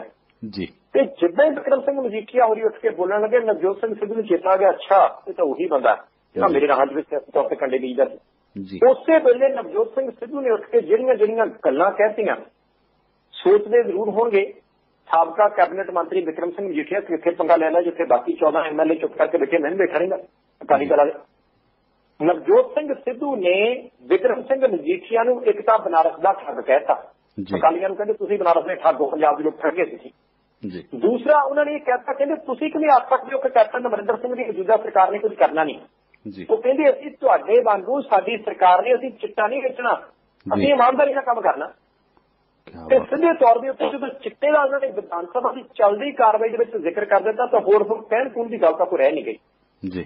ਉੱਥੇ ਵਿਕਰਮ ਸਿੰਘ ਮਜੀਠੀਆ ਭਾਵੇਂ ਜਵਾਬ ਦੇਣ ਦੀ ਕੋਸ਼ਿਸ਼ ਕਰਦੇ ਰਹੇ ਪਰ ਜਿਸ ਢੰਗ ਦੇ ਨਾਲ ਨਵਜੋਤ ਸਿੰਘ ਸਿੱਧੂ ਨੇ ਜਿਵੇਂ ਉਹ ਕਰਦੇ ਹੀ ਹੁੰਦੇ ਆ ਕਮੈਂਟਰੀ ਦੇ ਵਿੱਚ ਗੱਲਾਂ ਕਪਿਲ ਦੇ ਸ਼ੋਅ 'ਚ ਗੱਲਾਂ ਤੇ ਭਾਸ਼ਣ ਦਿੰਦਿਆਂ ਗੱਲਾਂ ਬਿਲਕੁਲ ਉਸੇ ਰਾਹ ਦੇ ਵਿੱਚ ਨਜ਼ਰ ਆਏ ਤੇ ਅੱਜ ਉਹਨਾਂ ਨੇ ਲੱਗਦਾ ਸੀ ਕਿ ਆਪਣੇ ਦਿਲ ਦੀਆਂ ਜਿਹੜੀਆਂ ਪੂਰੀਆਂ ਕੀਤੀਆਂ ਤੇ ਅੱਜ ਪਹਿਲੀ ਵਾਰ ਪਿਛਲੇ 10 ਸਾਲਾਂ ਦੇ ਵਿੱਚ ਕੈਬਨਿਟ ਮੰਤਰੀ ਵਿਕਰਮ ਸਿੰਘ ਮਜੀਠੀਆ ਜਿਹੜੇ ਨੇ ਉਹ ਵਿਧਾਨ ਸਭਾ ਦੀ ਚੱਲਦੀ ਕਾਰਵਾਈ ਦੇ ਵਿੱਚ ਥੋੜੇ ਜਿਹਾ ਉਨੀ ਨਜ਼ਰ ਆਏ ਤੇ ਨਵਜੋਤ ਸਿੰਘ ਸਿੱਧੂ ਨੇ ਅੱਜ 21 ਦੀ ਭੂਮਿਕਾ ਜਿਹੜੀ ਨਿਭਾਈ ਹੈ ਤੇ ਆਉਣ ਵਾਲੇ ਸਮੇਂ ਦੇ ਵਿੱਚ ਜਿੱਦਾਂ ਜਿੱਦਾਂ ਵਿਧਾਨ ਸਭਾ ਦੇ ਸੈਸ਼ਨ ਸੁਖਨੈਰ ਜੀ ਅੱਗੇ ਵਧਣਗੇ ਕਿਉਂਕਿ ਬਜਟ ਸੈਸ਼ਨ ਅਪ੍ਰੈਲ ਦਾ ਮਹੀਨਾ ਛੱਡ ਕੇ ਉਮੀਦ ਹੈ ਮਈ ਦੇ ਅਖੀਰ ਚ ਆ ਜਾਣਾ। ਜੀ। ਉਦੋਂ ਹੋ ਸਕਦਾ ਹੈ ਕਿ ਇੱਕ ਵਾਰ ਫਿਰ ਕੈਬਨਿਟ ਮੰਤਰੀ ਵਿਕਰਮ ਸਿੰਘ ਮਜੀਠੀਆ ਤੇ ਨਵਜੋਤ ਸਿੰਘ ਸਿੱਧੂ ਦੇ ਦਰਮਿਆਨ ਇਸੇ ਤਰੀਕੇ ਸ਼ਬਦੀ ਤੌਰ ਦੇ ਉੱਤੇ ਹਮਲਾ ਹੋਏ ਪਰ ਅੱਜ ਨਵਜੋਤ ਸਿੰਘ ਸਿੱਧੂ ਦੀ ਇਸ ਗੱਲ ਨੇ ਸਪਸ਼ਟ ਕਰ ਦਿੱਤਾ ਕਿ ਆਉਣ ਵਾਲੇ ਦਿਨਾਂ ਦੇ ਵਿੱਚ ਵੀ ਪਿਛਲੇ 10 ਸਾਲਾਂ ਦਾ ਉਹ ਮੁੱਦਾ ਵਿਧਾਨ ਸਭਾ ਦੇ ਅੰਦਰ ਤੇ ਵਿਧਾਨ ਸਭਾ ਦੇ ਬਾਹਰ ਉੱਠਿਆ ਜ਼ਰੂਰ ਕਰੇਗਾ, ਜੇ ਇਸ ਮੁੱਦੇ ਦੇ ਵਿੱਚ ਪੰਜਾਬ ਦੇ ਵਿੱਚ ਵਿਕਦੇ ਚਿੱਟੇ ਦੀ ਗੱਲ ਜਿਹੜੀ ਉਹ ਜ਼ਰੂਰ ਹੋਏਗੀ, ਪੂਰੇ ਪੰਜਾਬ 'ਚ ਫੁੱਲ ਚਰਚਾ ਸੋਸ਼ਲ ਮੀਡੀਆ ਤੇ ਹਨੇਰੀਆਂ ਆਈਆਂ ਹੋਈਆਂ ਨੇ ਇਸ ਘਟਨਾ ਦੀਆਂ। ਜੀ, ਅੱਜ ਸਾਡੀ ਫੁੱਲ ਚੜਾਈ ਹੈ। ਗੱਲ ਬਿਲਕੁਲ ਠੀਕ ਹੈ ਜੀ ਔਰ ਇਹ ਮੁੱਦਾ ਚਰਚਾ ਦੇ ਵਿੱਚ ਰਹਿਣਾ ਵੀ ਚਾਹੀਦਾ ਔਰ ਦੇਖਣ ਵਾਲੀ ਗੱਲ ਇਹ ਵੀ ਨਾਲ ਨਾਲ WhatsApp ਚਰਚਾ ਦੇ ਵਿੱਚ ਰਹੀ ਕਿ ਭੋਲਾ ਹੋਰਾਂ ਦਾ ਮਾਮਲਾ ਜਿਹੜਾ ਜੀ ਉਹਦੇ ਚੋਂ ਬਹੁਤ ਸਾਰੇ ਸਿਆਸਤਦਾਨ ਹੈ। ਸਾਰਿਆਂ ਦੇ ਨਾਂ ਗਾਇਬ ਹੋ ਗਏ। ਬੇਸ਼ੱਕ ਉਹ ਅਕਾਲੀ ਦਲ ਨਾਲ ਜੁੜੇ ਸੀ ਕਾਂਗਰਸ ਨਾਲ ਜੁੜੇ ਸੀ ਜਾਂ ਆਮ ਆਦਮੀ ਪਾਰਟੀ ਨਾਲ। ਸੌਰੀ ਅਕਾਲੀ ਦਲ ਨਾਲ। ਅੱਜ ਕੱਲ ਤਾਂ ਉਹੀ ਆਮ ਆਦਮੀ ਪਾਰਟੀ ਲੱਗਦਾ ਤੇ ਉਹ ਮਾਮਲੇ ਦੇ ਵਿੱਚ ਆਪਾਂ ਦੇਖ ਸਕਦੇ ਹਾਂ ਕਿ ਸਾਰੇ ਵੱਡੇ ਆਗੂਆਂ ਦੇ ਨਾਮ ਬਾਹਰ ਆ ਗਏ। ਜੇ ਹੁਣ। ਜੀ। ਜੀ ਜੀ ਪਲੀਜ਼ ਗੱਲ ਕਰੋ ਇਨਫੋਰਸਮੈਂਟ ਡਾਇਰੈਕਟੋਰੇਟ ਦੀ ਜੇ ਆਪਾਂ ਗੱਲ ਕਰੀਏ ਉਹਦੀ ਇੱਕ ਜਾਂਚ ਚੱਲ ਰਹੀ ਸੀ। ਉਹ ਹਜੇ ਕਿਸੇ ਤਣ ਪੱਤਨ ਲੱਗੀ ਨਹੀਂ। ਸੋ ਚਰਚਾ ਤਾਂ ਉਸ ਗੱਲ ਦੀ ਵੀ ਹੈ ਜੀ ਕਿ ਕਿਤੇ ਨਾ ਕਿਤੇ ਪਤਾ ਨਹੀਂ ਕਿੱਧਰੋਂ ਠੱਪੀਆਂ ਗਈਆਂ ਉਹ ਗੱਲਾਂ। ਜਿਹਦੀ ਚਰਚਾ ਹੁੰਦੀ ਸੀ। ਜੀ WhatsApp ਨੈਬ ਜੀ ਇਹ ਜਿਹੜੀ ਰਿਪੋਰਟ 1700 ਪੰਨਿਆਂ ਦੀ ਜਿਹਦਾ ਤੁਸੀਂ ਜ਼ਿਕਰ ਕੀਤਾ ਜਿਹਦੇ ਵਿੱਚ ਉਹੀ 13 14 ਬੰਦੇ ਜਿਹੜੇ ਬਾਕੀ ਰਹਿ ਗਏ ਜਿਨ੍ਹਾਂ ਦੇ। ਖਿਲਾਫ ਚਾਰਜ ਸ਼ੀਟ ਪੇਸ਼ ਕੀਤੀ ਜਾ ਚੁੱਕੀ ਹੈ ਤੇ ਜਿਹੜੇ ਵੱਡੇ ਵੱਡੇ ਨਾਮ ਪਹਿਲਾਂ ਚਰਚਾ ਸੀ ਉਹਨਾਂ ਨੂੰ ਬੁਲਾਇਆ ਵੀ ਜਾਂਦਾ ਹੈ ਜਲੰਧਰ ਈਡੀ ਦੇ ਦਫ਼ਤਰ ਦੇ ਵਿੱਚ। ਜੀ। ਉਹਨਾਂ ਬੱਚਿਆਂ ਦੇ ਖਿਲਾਫ ਕੁਝ ਨਿਕਲਿਆ। ਜੀ। ਸ਼ਾਇਦ ਸਿਮਰਨਜੀਤ ਸਿੰਘ ਮਾਨਵ ਦਾ ਬਿਆਨ ਵੀ ਜਿਹੜਾ ਉਧਰ ਤੋਂ ਜਿਹੜਾ ਕਰਦਾ ਭਾਈ ਜੇ ਤੁਸੀਂ ਛੋਟੇ ਛੋਟੇ ਬੰਦੇ ਫੜਨੇ ਆ ਵੱਡੇ ਨੂੰ ਜਾ ਕੇ ਆਪਣੀ ਪਹੁੰਚ ਦਾ ਮਾਮਲਾ ਫਿਰ ਘੱਟ ਰਹਿਣਾ। ਜੀ। ਪੰਜਾਬ ਦੇ ਮੁੱਖ ਸਾਹਮਣੇ ਸੁਪਨੈਰ ਜੀ ਸੱਚ ਸਾਹਮਣੇ ਆਉਣਾ ਚਾਹੀਦਾ ਹੈ। ਜੀ। ਕਿਉਂਕਿ ਪੰਜਾਬ ਦੇ ਵਿੱਚ ਜਿਹਨਾਂ ਘਰਾਂ ਦੇ ਵਿੱਚ ਨਸ਼ੇ ਨੇ ਭੰਬਰ ਪਾਏ ਨੇ ਜੀ। ਉਹਨਾਂ ਲੋਕਾਂ ਨੂੰ ਕਿਵੇਂ ਸਬਰ ਆ ਜਾਊਗਾ ਕਿ ਭਾਈ ਇਹ 14 15 ਬੰਦੇ ਜਿਹੜੇ ਆ ਉਹੀ ਸਾਰਾ ਕੰਮ ਕਰਦੇ ਆ। ਜੀ। ਬਿਨਾਂ ਸਿਆਸੀ ਸਰਪ੍ਰਸਤੀ ਤੋਂ ਬਿਨਾਂ ਪ੍ਰਸ਼ਾਸਨਿਕ ਅਧਿਕਾਰੀਆਂ ਦੀ ਮਿਲੀ ਤੋਂ ਕੁਝ ਪ੍ਰਸ਼ਾਸਨਿਕ ਅਧਿਕਾਰੀਆਂ ਦੀ ਮਿਲੀ ਤੋਂ ਇਹ ਕੰਮ ਚੱਲੇ ਨਹੀਂ ਸੀ ਸਕਦਾ। ਮੰਨ ਲੈਂਦੇ ਹਾਂ ਹਿਮਾਚਲ 'ਚ ਬਣਿਆ ਮੰਨ ਲੈਂਦੇ ਹਾਂ ਹਰਿਆਣੇ 'ਚ ਬਣਿਆ ਮੰਨ ਲੈਂਦੇ ਹਾਂ ਪਾਕਿਸਤਾਨ 'ਚ ਬਣਿਆ ਨੇਪਾਲ ਦੇ ਬਾਰਡਰ ਤੇ ਬਣਿਆ ਜਿੱਥੇ ਜਿੱਥੇ ਵੀ ਰੌਲਾ ਪਿਆ। ਜੀ। ਪਰ ਪੰਜਾਬ ਦੀਆਂ ਸੜਕਾਂ ਤੇ ਆਇਆ ਇਦਾਂ ਥੋੜੀ ਕਿ ਪਾਕਿਸਤਾਨ ਤੋਂ ਉੜਿਆ ਹਿਮਾਚਲ ਤੋਂ ਉੜਿਆ ਤੇ ਜਿਹੜੇ ਬੰਦੇ ਨੂੰ ਚਾਹੀਦਾ ਸੀ ਉਹਦੇ ਆਪ ਮੂੰਹ 'ਚ ਵੀ ਪਿਆ ਮੈਨੂੰ ਜੀ। ਕਦੋਂ ਲੈ ਕੇ ਆਇਆ ਇਸਲਾ ਕਿਸੇ ਨੂੰ ਪਤਾ ਲੱਗਣਾ ਚਾਹੀਦਾ ਸੀ ਉਹੀ ਪਿਛਲੀ ਸਰਕਾਰ ਦੇ ਕਾਰਜਕਾਲ ਵਿੱਚ ਸਭ ਕੁਝ ਹੋਇਆ ਜਿਹੜੇ। ਕਿਸੇ ਸਾਨੂੰ ਪੰਜਾਬ ਦੇ ਵਿੱਚ ਕੀੜੀ ਤੁਰੀ ਜਾਂਦੀ ਨਜ਼ਰ ਆਉਂਦੀ ਹੈ ਇਹ ਕੀੜੀ ਨਜ਼ਰ ਆਉਂਦੀ ਪੁੱਠੀ ਨਜ਼ਰ ਕਿਉਂ ਨਹੀਂ ਆਈ? ਜੀ। ਗੱਲ ਤਾਂ ਇਹੀ ਕੂੜ ਦੀ ਹੈ। ਸੋ ਕੂੜ ਨੂੰ ਖੁੱਟੇ ਨਾਨਕਾ ਓੜਕ ਸੱਚ ਰਹੀ। ਅਗਲੀ ਗੱਲ ਕਰੀਏ ਤਾਂ ਜੀ ਵਾਧੇ ਜਿਹੜੇ ਰੇਤਾ ਵਜਰੀ ਹੈ ਜੀ ਕਹਿੰਦੇ ਜੀ ਇਹਦਾ ਸੰਕਟ ਵੀ ਵੱਧ ਸਕਦਾ ਕਾਫੀ ਅੜਿੱਕੇ ਨੇ। ਸੁਖਰਾਜ ਜੀ ਕੰਮ ਤਾਂ ਕੈਪਟਨ ਸਾਹਿਬ ਦੀ ਸਰਕਾਰ ਨੇ ਆਉਂਦਿਆਂ ਥੋੜਾ ਜਿਹਾ ਸ਼ੁਰੂ ਕੀਤਾ ਜੇ ਅੱਗੇ ਤੁਰਦੇ ਰਹਿਣ। ਇੱਕੋ ਦਿਨ ਬਹੁਤ ਸਾਰੇ ਥਾਵਾਂ ਦੇ ਛਾਪੇ ਮਾਰੇ ਰਾਤ ਨੂੰ ਵੀ ਛਾਪੇ ਮਾਰੇ ਦਰਜਨਾ ਚੱਕਰ ਟਰੱਕ ਫੈਕਟਰ ਟਰਾਲੀਆਂ। ਜਿਹੜੀਆਂ ਗੁੰਡਾ ਟੈਕਸ ਵਾਲੀਆਂ ਬਹੁਤ ਕੁਝ ਹੱਥ ਆਇਆ। ਜੀ। ਉਹਦੇ ਨਾਲ ਹੁਣ ਪੰਜਾਬ ਦੇ ਵਿੱਚ ਇਹ ਗੱਲ ਚੱਲਣ ਲੱਗ ਪਈ ਹੈ ਕਿ ਜਿਹੜੇ ਤਾਂ ਇਲਾਕੇ ਹਿਮਾਚਲ ਦੇ ਨਾਲ ਲੱਗਦੇ ਆ ਜੀ। ਤਾਂ ਹੋਰਨਾਂ ਸੂਬਿਆਂ ਦੇ ਨਾਲ ਲੱਗ ਗਿਆ ਉੱਥੇ ਮਾੜੀ ਮੋਟੀ ਨਜਾਇਜ਼ ਮਾਈਨਿੰਗ ਹੁੰਦੀ ਹੈ ਬਾਕੀ ਪੰਜਾਬ ਦੇ ਵਿੱਚ ਨਜਾਇਜ਼ ਮਾਈਨਿੰਗ ਘਟ ਗਈ। ਕਾਫੀ ਹੱਦ ਘਟ ਗਈ। ਗੁੰਡਾ ਟੈਕਸ ਵੀ ਲੱਗੋ ਘਟ ਗਿਆ। ਕਈ ਥਾਵਾਂ ਦੇ ਉੱਤੋਂ ਤੱਕ ਖਬਰਾਂ ਪੱਤਰਕਾਰ ਭਾਈ ਸਾਹਿਬ ਇਹ ਵੀ ਚੱਲ ਰਹੀਆਂ ਕਿ ਰੇਤੇ ਦੀ ਟਰਾਲੀ ਟਰੱਕ ਜਿਹੜੇ ਆ 1000 ਰੁਪਏ ਤੋਂ ਲੈ ਕੇ 2500 ਰੁਪਏ ਤੱਕ ਸਸਤੇ ਦੇ ਹੋ ਗਏ। ਜੀ। ਇਹ ਮਸਲਾ ਆਉਣ ਵਾਲੇ ਦਿਨਾਂ ਦੇ ਵਿੱਚ ਥੋੜਾ ਗੁਰਗੰਝਲਦਾਰ ਹੋਣਾ। ਜੀ ਕਿਉਂਕਿ ਡਿਮਾਂਡ ਐਂਡ ਸਪਲਾਈ ਦਾ ਨਿਯਮ ਜਿਹੜਾ ਆਪਾਂ ਬਹੁਤ ਪੁਰਾਣੇ ਪੜ੍ਹਦੇ ਆ ਉਸ ਨਿਯਮ ਦੇ ਕਰਕੇ ਕਿਤੇ ਨਾ ਕਿਤੇ ਰੇਤੇ ਤੇ ਬਜਰੀ ਦੀਆਂ ਕੀਮਤਾਂ ਜਿਹੜੀਆਂ ਥੋੜੀਆਂ ਜਿਹੀਆਂ ਹੋਰ ਚੜ ਸਕਦੀਆਂ ਜੀ। ਉਹਦਾ ਕਾਰਨ ਇਹ ਹੈ ਕਿ ਜਿਨ੍ਹਾਂ ਨੂੰ ਤਾਂ ਨਜਾਇਜ਼ ਮਾਈਨਿੰਗ ਦੇ ਕਰਕੇ ਰੇਤਾ ਬਜਰੀ ਮਿਲਦੀ ਸੀ ਉਹ ਵੀ ਬੰਦ ਹੋ ਗਈ। ਹੁਣ ਸਰਕਾਰ ਉਹਨਾਂ ਖੱਡਾਂ ਦੇ ਮਾਲਕਾਂ ਦੇ ਉੱਤੇ ਵੀ ਠੇਕੇ ਲੈਣ ਵਾਲਿਆਂ ਦੇ ਉੱਤੇ ਵੀ ਕਾਰਵਾਈ ਕਰਨ ਜਾ ਰਹੀ ਹੈ। ਜਿਨ੍ਹਾਂ ਨੂੰ ਖੱਡ ਦਾ ਠੇਕਾ ਦਿੱਤਾ ਗਿਆ ਸੀ ਕਿ ਤੁਸੀਂ 100 ਫੁੱਟ ਤੱਕ ਪਟਾਈ ਕਰਕੇ ਰੇਤਾ ਵੇਚ ਸਕਦੇ ਹੋ। ਅਗਲਾ 3-400 ਫੁੱਟ ਬਣ ਗਈ। ਹੁਣ ਸਰਕਾਰ ਉਹਨਾਂ ਦੀ ਜਿਹੜੀ ਹੈ ਨਜਾਇਜ਼ ਮਾਈਨਿੰਗ ਵਾਲੀ ਜਾਂ ਜਾਇਜ਼ ਮਾਈਨਿੰਗ ਵਾਲੀ ਥਾਂ ਦਾ ਦੌਰਾ ਕਰਕੇ ਉਹਨਾਂ ਨੂੰ ਜੁਰਮਾਨੇ ਲਾਉ ਜੀ। ਤੇ ਉਹਨਾਂ ਦੇ ਵਿੱਚ ਵੀ ਬਹੁਤ ਸਾਰੇ ਮਾਈਨਿੰਗ ਜਿਹੜੀ ਪਹਿਲਾਂ ਹੁੰਦੀ ਸੀ ਉਹ ਵੀ ਬੰਦ ਹੋ ਗਈ। ਪੰਜਾਬ ਦੇ ਵਿੱਚ ਡਿਮਾਂਡ ਹੋਣੀ ਹੈ ਕੰਸਟਰਕਸ਼ਨ ਉਹਦੀ ਚੱਲ ਰਹੀ ਹੈ ਪਰ ਪਿੱਛੋਂ ਸਪਲਾਈ ਦੇ ਵਿੱਚ ਥੋੜੀ ਜਿਹੀ ਘਾਟ ਆ ਗਈ। ਜੀ। ਸੁਖਨੈਬ ਜੀ ਬਹੁਤ ਜਲਦੀ ਕੈਪਟਨ ਅਮਰਿੰਦਰ ਸਿੰਘ ਹੋਰਾਂ ਦੀ ਸਰਕਾਰ ਨੇ ਨਵੀਂ ਮਾਈਨਿੰਗ ਦੀ ਨੀਤੀ ਨਾਲ ਲੈ ਕੇ ਆਂਦੀ ਜਿਹੜੇ ਬਹੁਤ ਸਾਰੇ ਕ੍ਰੈਸ਼ਰ ਚੱਲਦੇ ਨੇ। ਬੜੀ ਜਲਦੀ ਸ਼ੁਰੂ ਨਹੀਂ ਹੋਇਆ। ਵਟਸਐਪ ਤੁਹਾਡੀ ਲਾਈਨ ਟੁੱਟਣ ਲੱਗੀ ਹੈ ਥੋੜਾ ਜਿਹਾ ਸਾਈਡ ਘਮਾਓਗੇ ਤੁਸੀਂ? ਜੀ ਜੀ। ਸੁਖਨੈਬ ਜੀ ਜੇ ਹੈ। ਡਿਮਾਂਡ ਤੇ ਸਪਲਾਈ ਦਾ ਜਿਹੜਾ ਮਸਲਾ ਜੀ। ਉਹਨੂੰ ਜੇ ਹੱਲ ਨਾ ਕੀਤਾ ਗਿਆ ਤਾਂ ਪੰਜਾਬ ਦੇ ਲੋਕਾਂ ਨੂੰ ਥੋੜੇ ਸਮੇਂ ਦੇ ਲਈ ਇੱਕ ਵਾਰ ਫਿਰ ਰੇਤਾ ਤੇ ਬਜਰੀ ਦਾ ਭਾਅ ਜਿਹੜਾ ਉਹ ਵੱਧ ਦੇਣਾ ਪੈ ਸਕਦਾ। ਜੀ। ਤੇ ਜੇ ਉਹ ਭਾਅ ਵੱਧ ਦੇਣਾ ਪਿਆ ਤਾਂ ਕੈਪਟਨ ਅਮਰਿੰਦਰ ਸਿੰਘ ਦੀ ਸਰਕਾਰ ਦੇ ਸਾਹਮਣੇ ਉਂਗਲਾਂ ਦੀਆਂ ਫੇਰ ਖੜੀਆਂ ਹੋਣਗੀਆਂ। ਜੀ। ਦੇਖਦੇ ਆ ਕਿ ਕਦੋਂ ਜਿਹੜੀ ਮਾਈਨਿੰਗ ਦੀ ਨਵੀਂ ਪਾਲਿਸੀ ਆਉਂਦੀ ਹੈ ਕਦੋਂ ਜਿਹੜੀਆਂ ਖੱਡਾਂ ਅਲਾਟ ਕੀਤੀਆਂ ਗਈਆਂ ਸੀ ਉਹਨਾਂ ਖੱਡਾਂ ਦਾ ਮੁਆਇਨਾ ਕਰਕੇ ਇਹ ਕਿਹਾ ਜਾਂਦਾ ਕਿ ਤੁਸੀਂ ਠੀਕ ਮਾਈਨਿੰਗ ਕੀਤੀ ਹੈ ਤੇ ਕਿਹਨੂੰ ਕਿਹਾ ਜਾਂਦਾ ਕਿ ਤੁਸੀਂ ਗਲਤ ਕੀਤੀ ਹੈ। ਇਹਦੇ ਉੱਤੇ ਹੁਣ ਬਹੁਤ ਕੁਝ ਨਿਰਭਰ ਕਰਨਾ ਹੈ। ਤੋਂ ਵੇਖਦੇ ਆ ਕਿ ਨਵੀਂ ਮਾਈਨਿੰਗ ਦੀ ਨੀਤੀ ਕਦੋਂ ਆਉਂਦੀ ਹੈ ਤੇ ਪੰਜਾਬ ਦੇ ਲੋਕਾਂ ਨੂੰ ਪਹਿਲਾਂ ਵਾਲੇ ਸਸਤੇ ਭਾਅ ਦੇ ਉੱਤੇ ਰੇਤਾ ਤੇ ਬਜਰੀ ਕਦੋਂ ਤੱਕ ਪੂਰੀ ਤਰ੍ਹਾਂ ਉਪਲਬਧ ਹੁੰਦੀ ਹੈ। ਜੀ। ਸੋ ਬਹੁਤ ਮਿਹਰਬਾਨੀ ਬਾਟ ਸਾਹਿਬ ਖਬਰਾਂ ਦੇ ਨਾਲ ਸਾਂਝ ਪਾਉਣ ਦੇ ਵਾਸਤੇ। ਆਪਾਂ ਇੱਕ ਬ੍ਰੇਕ ਤੋਂ ਬਾਅਦ ਸਰੋਤਿਆਂ ਦੀਆਂ ਕਾਲਾਂ ਲੈਣੇ ਜੀ। ਕੁਛ ਭਲਾਂ ਤੋਂ ਬਾਅਦ ਫੇਰ ਹਾਜ਼ਰ ਹੋਵਾਂਗੇ।